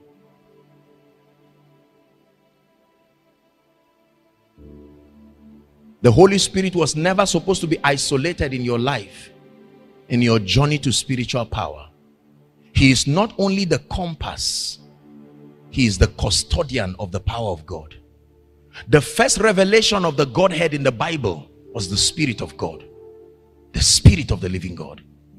And the Spirit hovered round the face of the waters.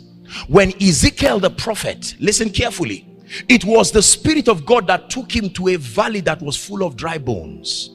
And he said, I prophesied as I was commanded, and there was a sound. You sang it yesterday night. The rushing wind. The same wind that came in Acts chapter 2. Now, when the day of Pentecost was fully come, 2 verse 1 says, they were all gathered together in one accord. Then suddenly, the Bible says, there was a sound. Huh? That sound from heaven like a mighty rushing wind, and it came and filled the room where they were sitting.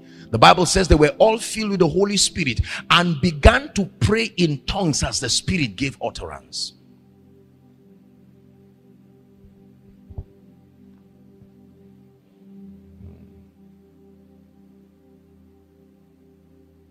Witness.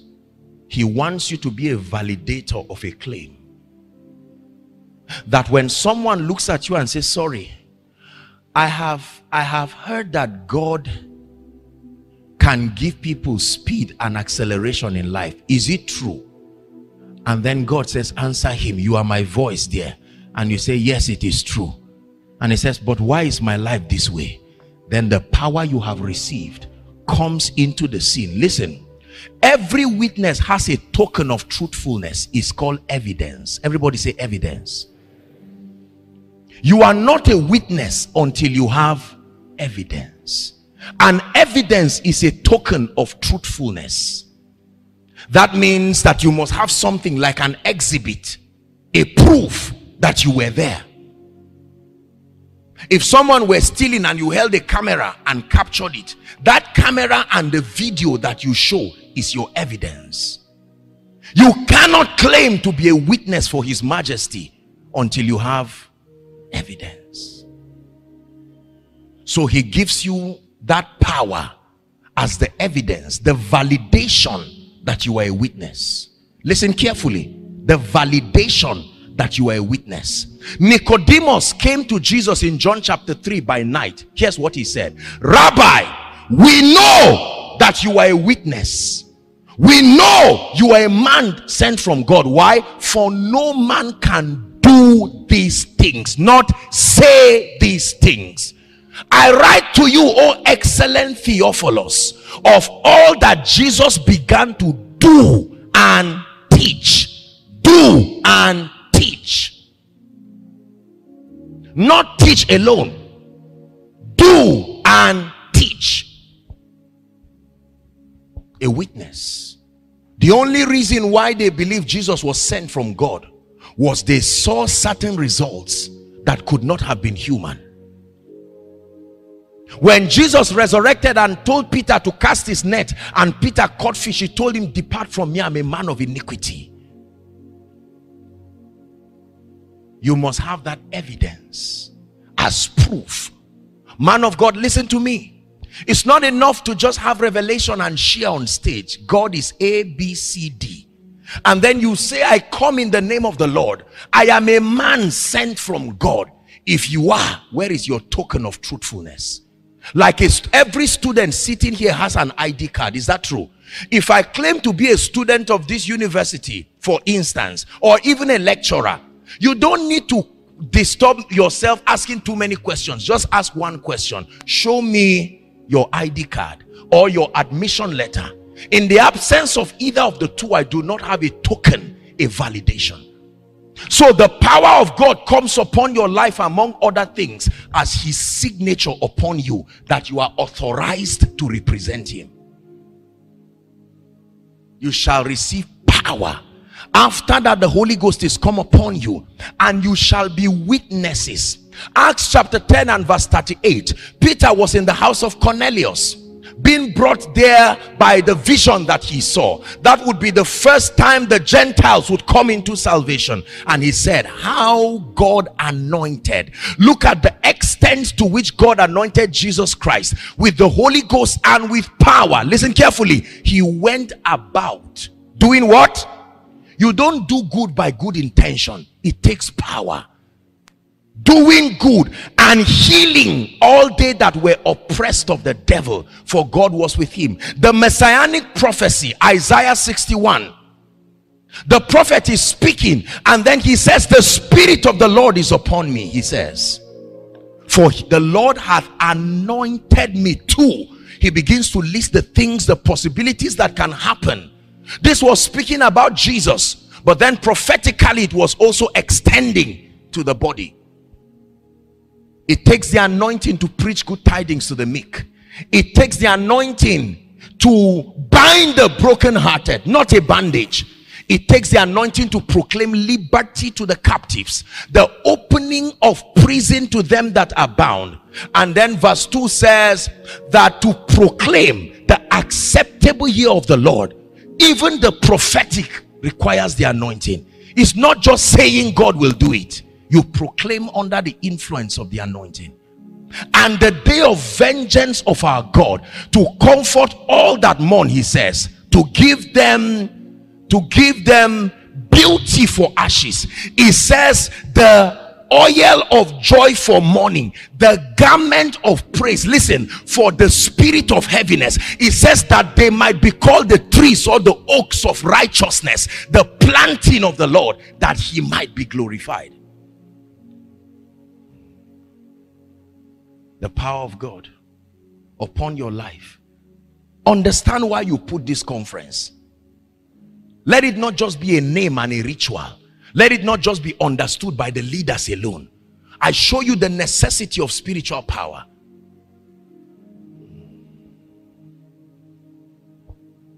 Are we together? Hmm. It is true. John chapter 1, 6 to 7. We're going to pray.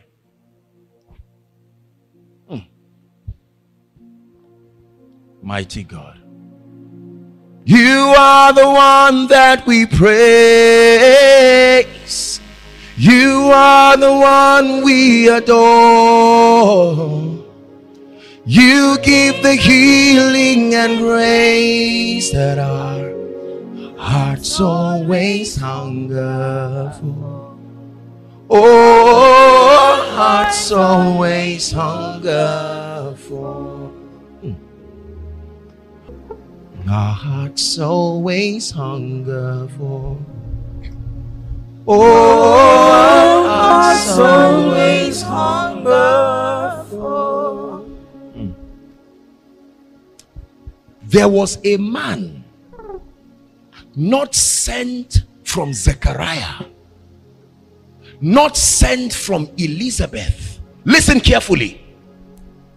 You thought you were a Kogi person. No. Your body needed to have a geographic identification. So the body comes from Kogi state. But the man is sent from God. Not sent by the intimacy of a father and a mother. Listen very carefully. There was a man sent from God. When that man arrived the earth, they gave him a physical name to disguise that mystery that just came to the earth. And the name that was given was John. Next verse. The Bible says the same came. Stop. When you read everything about John he just looks like a child that was born. But the Bible says he came. That means there are people who are not just born. They came they came to families.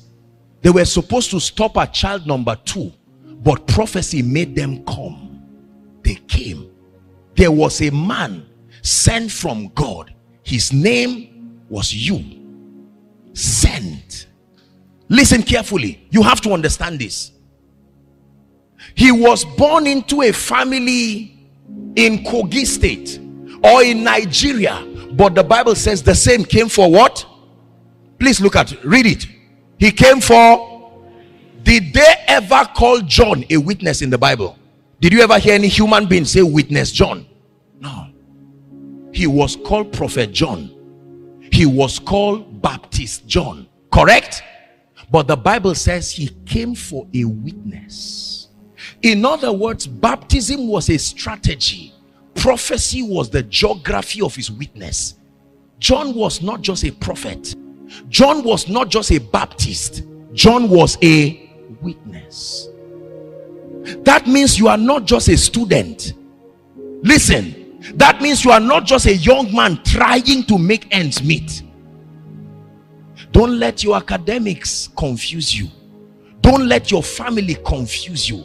Don't let your skin color and your name confuse you. God is revealing you to you that you were sent as a witness that when your grandfather was crying and said, Lord, I don't know you so much, but is this how we will continue? God had his prayer and you were sent.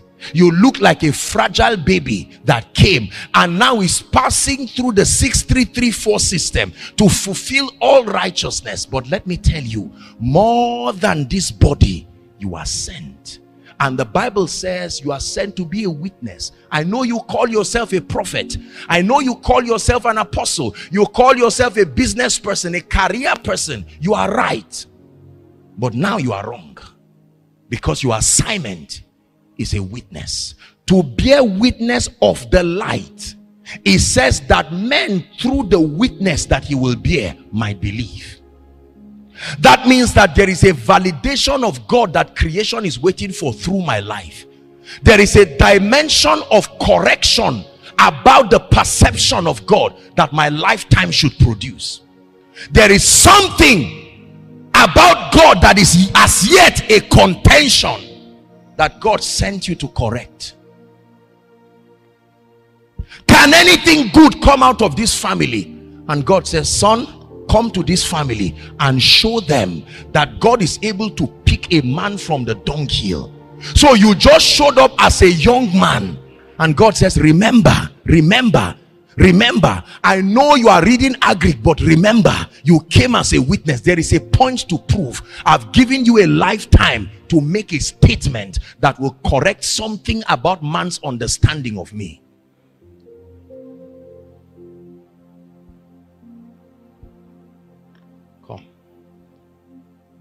For instance, if this precious lady is barren, look at this. Just an example.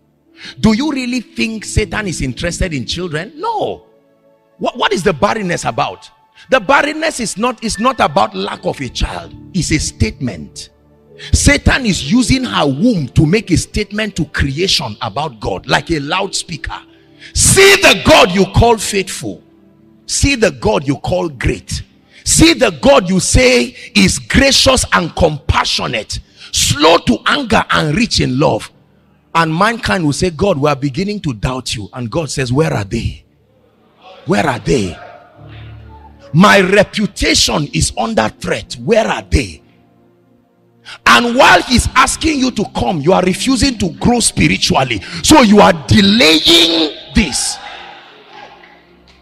Your destiny has been allocated to answer this question but you got born again late and you are not even interested in spiritual growth. And while that delay is happening someone is suffering from it and the name of Christ is about to be reproached. But I'm glad there are people from this conference.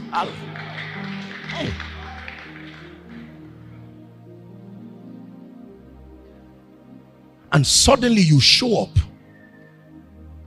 ah, ah, are you not studying biz admin? Say no. biz admin is only a disguise. Like a terrorist studying medicine. He's not a doctor. He's a terrorist.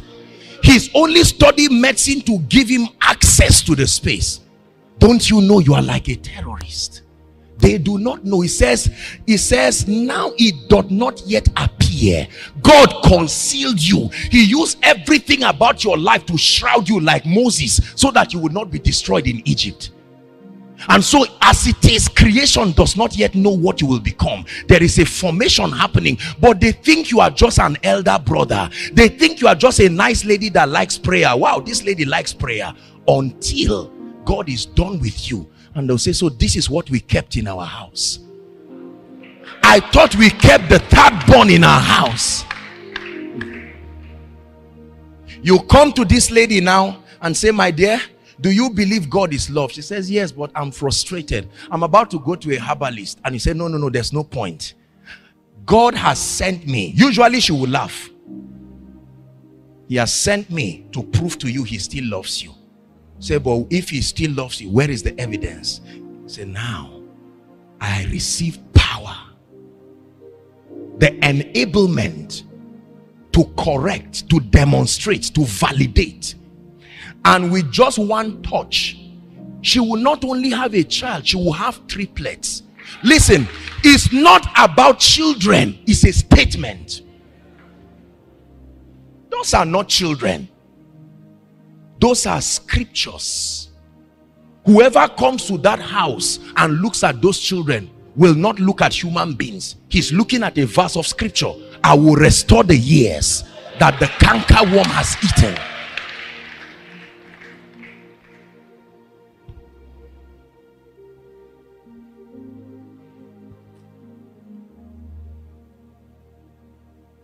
So the Bible says, let me tie it up, let's pray. It says, For I reckon, Romans chapter 8 and verse 18. I reckon, the word reckon means I come to terms with the fact that the sufferings of this present time, listen very carefully, is not worthy to be compared with the glory that shall be revealed in you.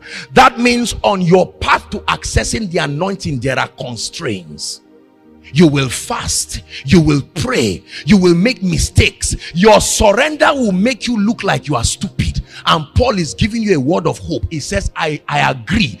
I come to terms with the fact that this thing is a sacrifice. I reckon that the sufferings of this present time the constraints of waking up in the morning to pray the constraints of staying when others are going the constraints of hearing his voice before you move he said it's not worthy to be compared with the glory that shall be in you. Then 19 says, For the earnest expectation. Everybody say expectation. That means God told creation, Wait, some people are coming. And they have been saying, We are waiting. We are waiting. Expectation. I told you I will give you 1,000. Wait for me here. And you've been waiting. Once it's 12 o'clock, you will begin to get a little impatient and creation is crying back to God and saying, Lord, how long? And God is replying you, how long? How long do you want them to wait? How long do you want your family to wait? How long do you want the destinies tied to you to wait? How long do you want the graces connected to you to wait? How long do you want those who are waiting for the prophetic word through your mouth to wait? How long do you want those who are appointed for death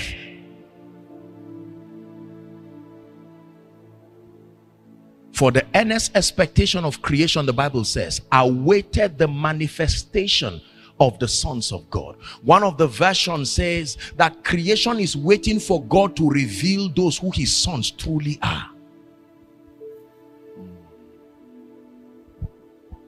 So that where you are, God is. Now it's true that God is everywhere through his spirit, but he sends men to be extensions of his possibilities within territories. That means that when someone says, Is there God in Kogi State? You speak like Elijah. And you speak also like Elisha. Tell Naaman to come and let him know there is a prophet in Israel. That because of your presence on your campus, every time darkness seems to come, you stand like a pillar and say, Where to? I represent the government of heaven, and this is the token. There is an ability that was given to me. My brothers and my sisters, listen to me. I prepare your heart this morning for the evening. We are going to pray. I'm showing you the necessity and the purpose for spiritual power. It is not all about ministry. It takes the power of God to subdue the darkness that plague men it takes the power of God to birth any possibility that you see in this kingdom. It takes the power of God to correct men's destinies. It takes the power of God to force the purposes of God to advance within a life and within a territory. And I'm glad to tell you that in the name of Jesus, within this conference, you must carry something. Like Saul when he met with Samuel, he says, You will go to the garrison of the Philistines. And then he will begin to prophesy like them. They saw him and they said, Is Saul also one of them? They know that as at last week, you were just an ordinary believer who loved God. What suddenly happened in one week that your life has changed? You shook me yesterday and things changed in my life. Sorry, where did you go to? And you tell them there was a program over the weekend. I innocently came and sat down And I didn't know that it was the voice of destiny calling to say it's time to rise to that level of power. It's time to rise to that level of grace. It's time to not only hear stories of the things that used to happen. It's time to not only read God's generals but become an extension. The book did not finish. How could it finish? The book left your own empty page there.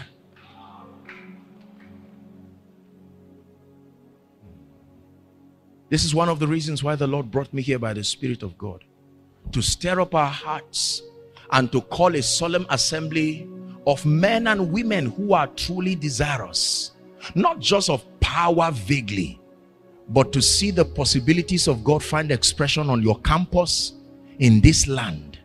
You see, if you love God and you love people, you will desire the power of God because darkness covers the earth.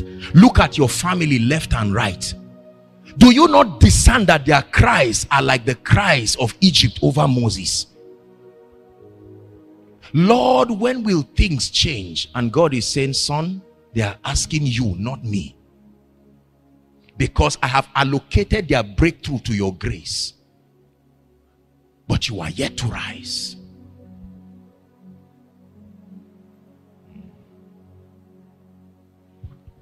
It is the power of the Holy Spirit that will turn you into a sign and a wonder. It is the power of the Holy Spirit that will bring the end to every argument. Every doubt, whether you're a man of God or not, can end in a moment. That there is something God will place upon your life, and that would be it. There was a great man called Apostle Babalola. Many of you know his story. You read about how that man was accepted among the company of ministers. For a long time, there was prophecy that a man was going to arise, and they had discerned that he was the one, but they refused to receive him into their company. It didn't make sense, he was too ordinary. And they said, No, there has to be an evidence that convinces us that this is the man who represents the face of God's power for his generation. And then one day, according to the story, that a madman meandered and was running around. And the group of people were in prayer and they looked through the window and watched that madman come towards Apostle Babalola. And he held the madman and said, You are not mad. And the man calmed down there. And when the company of the prophets saw, they said, Truly, truly. Was that not how they knew that the spirit of Elijah doth rest upon Elisha? When they saw the possibilities that happened, they said, Ah, no, something has happened. The same way, my brothers and my sisters, they will see something about your life, and your roommate will say, Wait, did you sit on this chair? Because when you left and I sat down, I don't know what happened. I fell asleep, and all of a sudden, I started seeing things about my destiny. And you say, I was not even praying, I only sat. No, you were a distributor of spiritual possibilities. You brought something to that room. so we're going to pray this morning and ask the Lord to prepare our hearts. We've woken up early in the morning to pray, still an extension of the conference. I am a witness, although a pastor I am a witness, although a student. I am a witness, although a lady. Everyone say, I am a witness. Never forget this word for the rest of your life. Yes. A witness is a validator. A validator. A validator. Please remember. That means that everywhere you see God's name about to be reproached, something is calling you there. Like a politician, if you see someone tearing the, the flag of your party, whether you are contesting, you say, Why? There is a solidarity, a witness. Some of you, even from this morning, you will call your loved ones to say, Prepare, the answer is coming.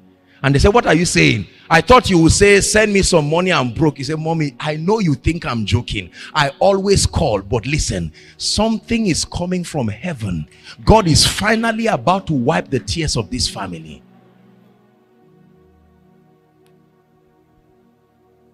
That's why we travel from region to region. To challenge believers that you are witnesses. Not just a man of God, but everybody. And that God and creation is counting on your validation of God's name. The name of God is in jeopardy, waiting for you to correct that perception. First from your family, then extended to people around you. Somebody is about to be thrown out of school now, not because he is dull, but there is a spirit that has taken advantage of everybody in his family. They told you about it the last time, and what you said is, Hey, yeah, and God is saying, Not so, not after this conference. You go back and say, My brother, what did you say used to happen to you again? He said, I thought you we sympathize, we cry. He said, No, I've not come to sympathize. It takes the anointing to comfort those who mourn. And let me show you what comfort means. Comfort does not mean to just pass you through, comfort means to change it.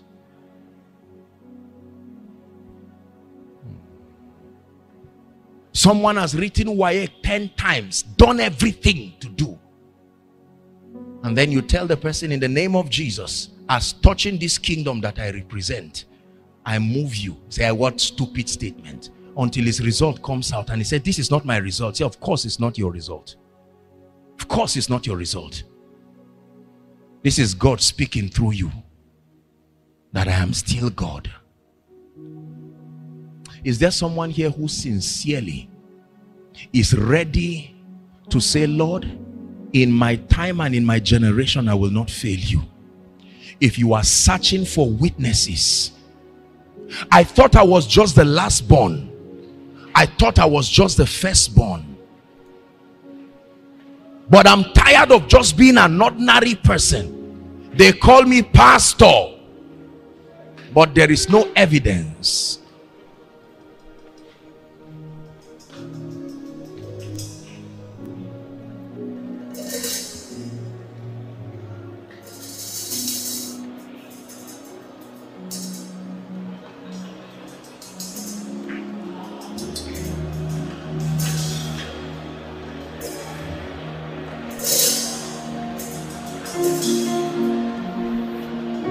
and talk to the Lord. This is the conference that makes my life. Lord, I've attended several conferences. I have even organized others myself. But this time around, I'm not carried away. My spirit is open. There has to be an evidence upon my life.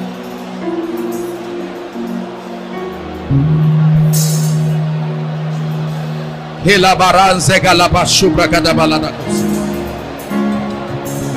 Kera sobra kateka tola para hasadakush. Kreteko sadabalande kroteshele katash. Inde shulabras kabaruze senikatash.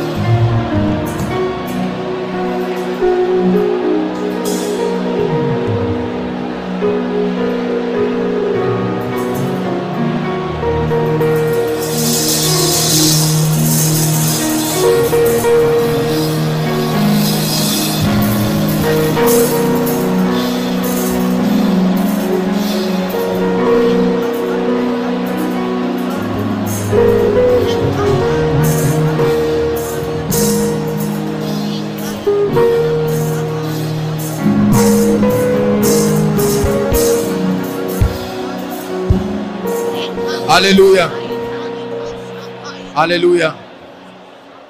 Hallelujah. Jeremiah 51 and verse 20. We're still praying. Jeremiah 51, if it can be projected, that will be fine. But he said, Thou art my battle axe. He didn't say you have it, you are it. Thou art my battle axe and weapons of war. It says, For with thee I will break into pieces the nations, and with you I will destroy kingdoms. Very important.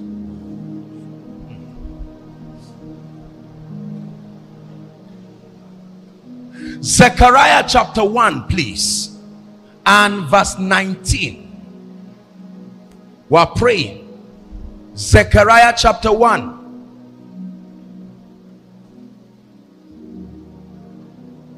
And he said unto the angel that talked with me, What be these? And he answered, These are horns. A horn is a symbol of authority. These horns have scattered Judah, they have scattered Israel, they have scattered Jerusalem. Next verse.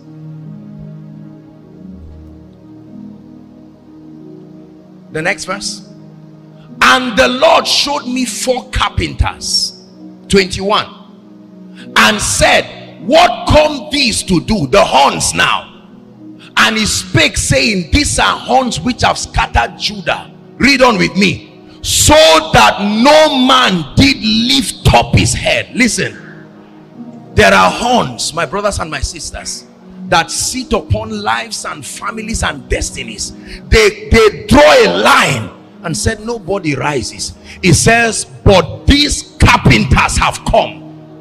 The word phrase the word to terrorize them to cast out the horns of the gentiles which lifted up their horn over the land of judah to scatter it. It takes power to bring darkness at bay. It takes power. It says behold i give you power luke 10 19 is the word exousia authority. I delegate you to tread upon snakes and scorpions he says and over every power of the enemy. Is someone ready to pray? And you are going to declare and pray and say father i'm contacting grace that will grant me the ability to wrought terrible things in righteousness. On behalf of my life my family.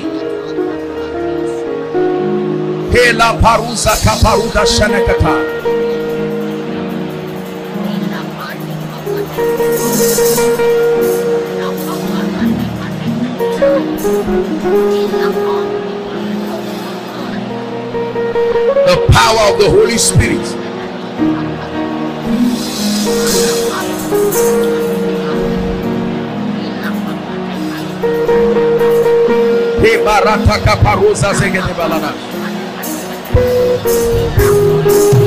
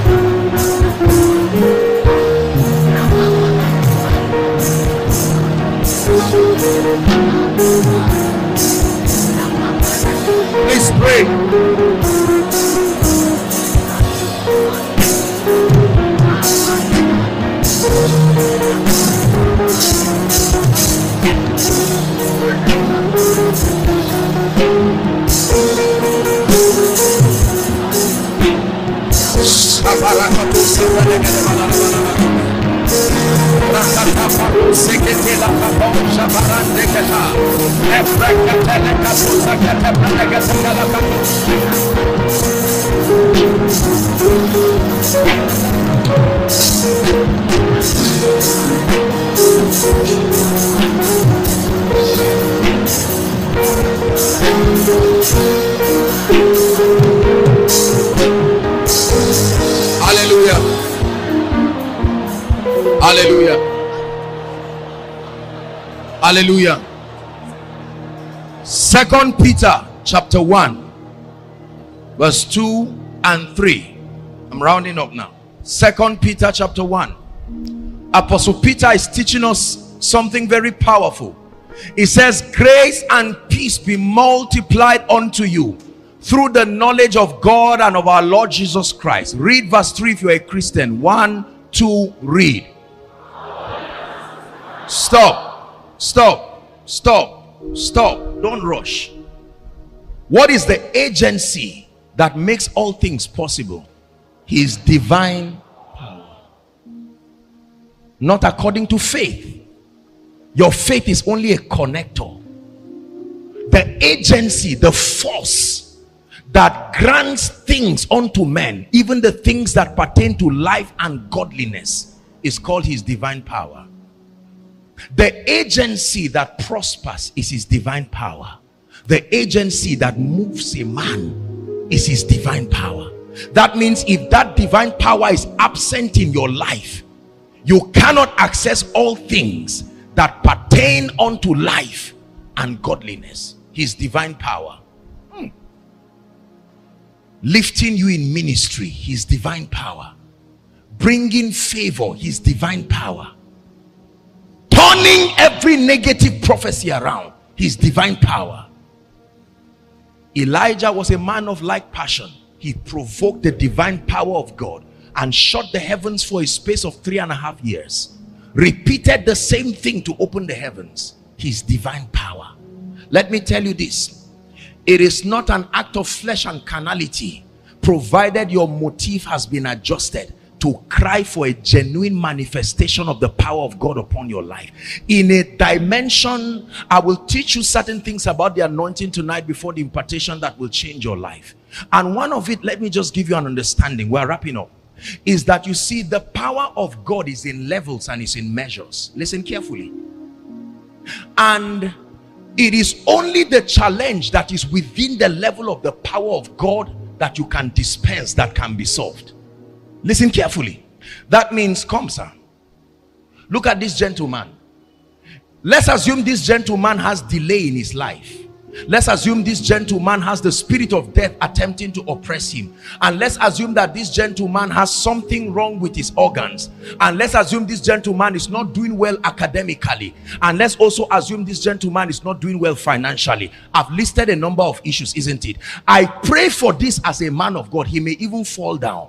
But you see, every challenge that he has is like an item in the store there is a level of anointing required to solve it.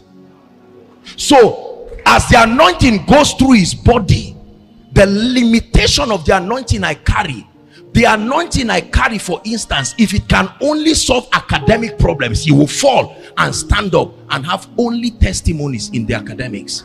That means that the remaining part of his life there was limitation. Are you seeing that now you know your level of anointing by the testimonies that keep recycling around your life.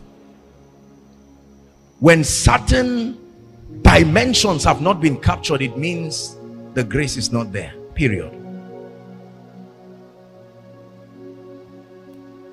So when you really love this brother you must rise to a level of anointing where every challenge that he comes is within your grace to solve and one prayer just a tap on the head he may think it's a joke until he goes back and finds out that all doors have opened. And he says what kind of grace is this? How god anointed jesus. Are you seeing now? Not only that he was anointed he was so anointed that regardless of what your issue were if you came to him it was child's play you're going to cry. Some of you have tasted of the anointing. Lord multiply this grace upon my life to a level and a degree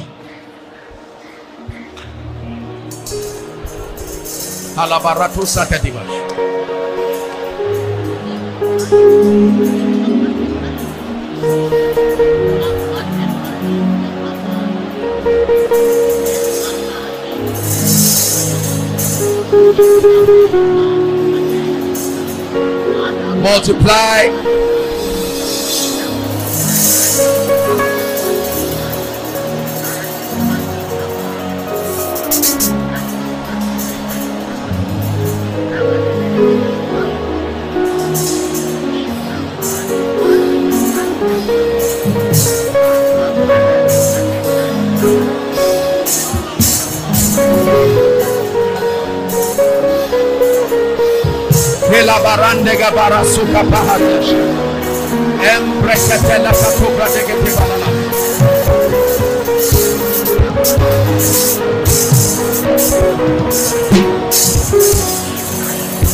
Hallelujah. Hallelujah. Hallelujah. The last prayer point for this morning. Listen. I hope I have the time to share with you a few of my personal stories by evening. But I'll just share just one of them, two minutes, and we're done. A number of you have heard it in the teachings. You see, when you see all these manifestations and these dimensions of the Spirit at work, in my life, and everywhere I go to minister, there is an explanation for it. It is not just that a man was lucky to be picked by God. No, it was not always like that. Praise the Lord. I'm trying to stimulate your desire. You see, let me tell you sincerely, for many years, I saw the power of God in dimensions that very few people had seen. And I thought, wow, I'd seen the power of God. I've seen all kinds of miracles. I've seen all kinds of things. Until I began to have certain levels of encounters with God. And then I knew that this thing called anointing is truly in levels and in measures. I would never have people healed and touched and blessed until I specifically called them out, laid hands on them, or ministered to them. If I didn't minister to you, you may be blessed from the teaching, but the influence of that presence was not strong enough to touch you where you were. And I knew there was a problem. Because how then do you minister to nations? How then do you speak from a point and everybody within that territory gets blessed? Until in one of my encounters, I saw a mighty angel of the Lord. The Lord spoke to me. He said, Son, from this day, I give you my presence as a gift. And then I saw an angel. And the Lord told me, This angel will walk with you. He's called the angel of the Lord's presence. I said, Wow, I thought the angel of the Lord's presence was God Himself. And from that time, that's what happens when you listen to the teachings. And when I stand and you see people shaking around, it is the influence of these spiritual possibilities. I'm explaining it to you so that you will understand. It's true. So I'm, I'm, I'm, I'm opening you up to see that there can be more. Don't stay small in your little fellowship here and there, one healing, one prophecy, one miracle, one revelation, one Greek, one Hebrew. Please leave shadows and come into substance. Beyond a realm of comparison and competition and the need. No. There is a level where God brings you into a dimension of grace that will only leave you humbled. I have seen things in this my life. I pray that your heart will truly be open to receive something in this conference. Hallelujah. So all through today while you attend your lectures and prepare for the night, please don't be careless. Are we together now? If I were you, I'll prepare my heart. Even whilst I'm listening to lectures. Lord, this is a once in a lifetime thing. The dream and the visions that you had, let it come back to your mind. Hear the voices of those people who were crying again as you prepare for the night. The dream about your mother calling for help, let it come again. As you walk down the street, don't be careless, gisting, eating around and wasting time find a corner and say, Lord, this is it, this is it, this is it. Graces that you once touched that you have lost. You just know that one day is like you saw a vision, but you don't know where it went to again. I'm going to say, Lord, like the hair of Samson, it must return in this conference. Let me pray for you, Father. In the name of Jesus, I pray for your people. And I ask you, oh God, that the activity of the Holy Spirit that must happen in a man to cause that man to be able to host your power and your presence. Lord, that between this morning and even the evening, when your people will come to receive, I pray and I cry to you, O God of heaven, let these supernatural activities begin in the life of your people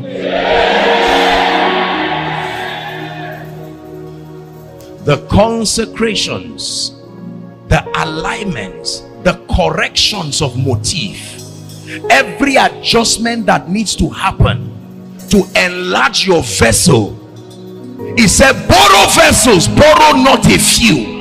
Whatever, oh God, will need to be emptied out of their lives to create space.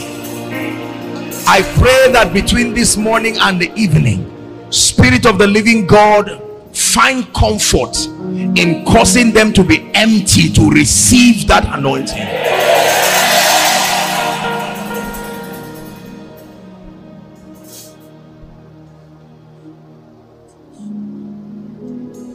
Now I pray for you that whatever you need to hear or see before this evening, whatever you need to be reminded of by the Spirit to prepare your heart again to receive, I pray for you sincerely. Let your morning, even up to evening, be full of very strange encounters.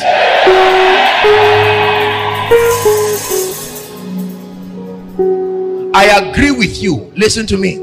The distractions that reduce you back from the realm of spirituality and focus because he told Elisha if you can see me it takes focus to receive some of you the devil will try to bring offense between now and evening someone has annoyed you you frown your way to this place and receive nothing no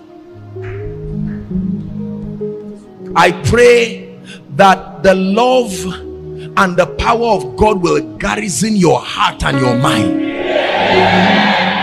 That nothing will offend you and nothing will will corrupt the preparation of your heart to host this dimension of God's grace. In the name of Jesus Christ. Do subscribe and turn on the post notification bell to stay updated with us daily don't forget also to like and share this video. God bless you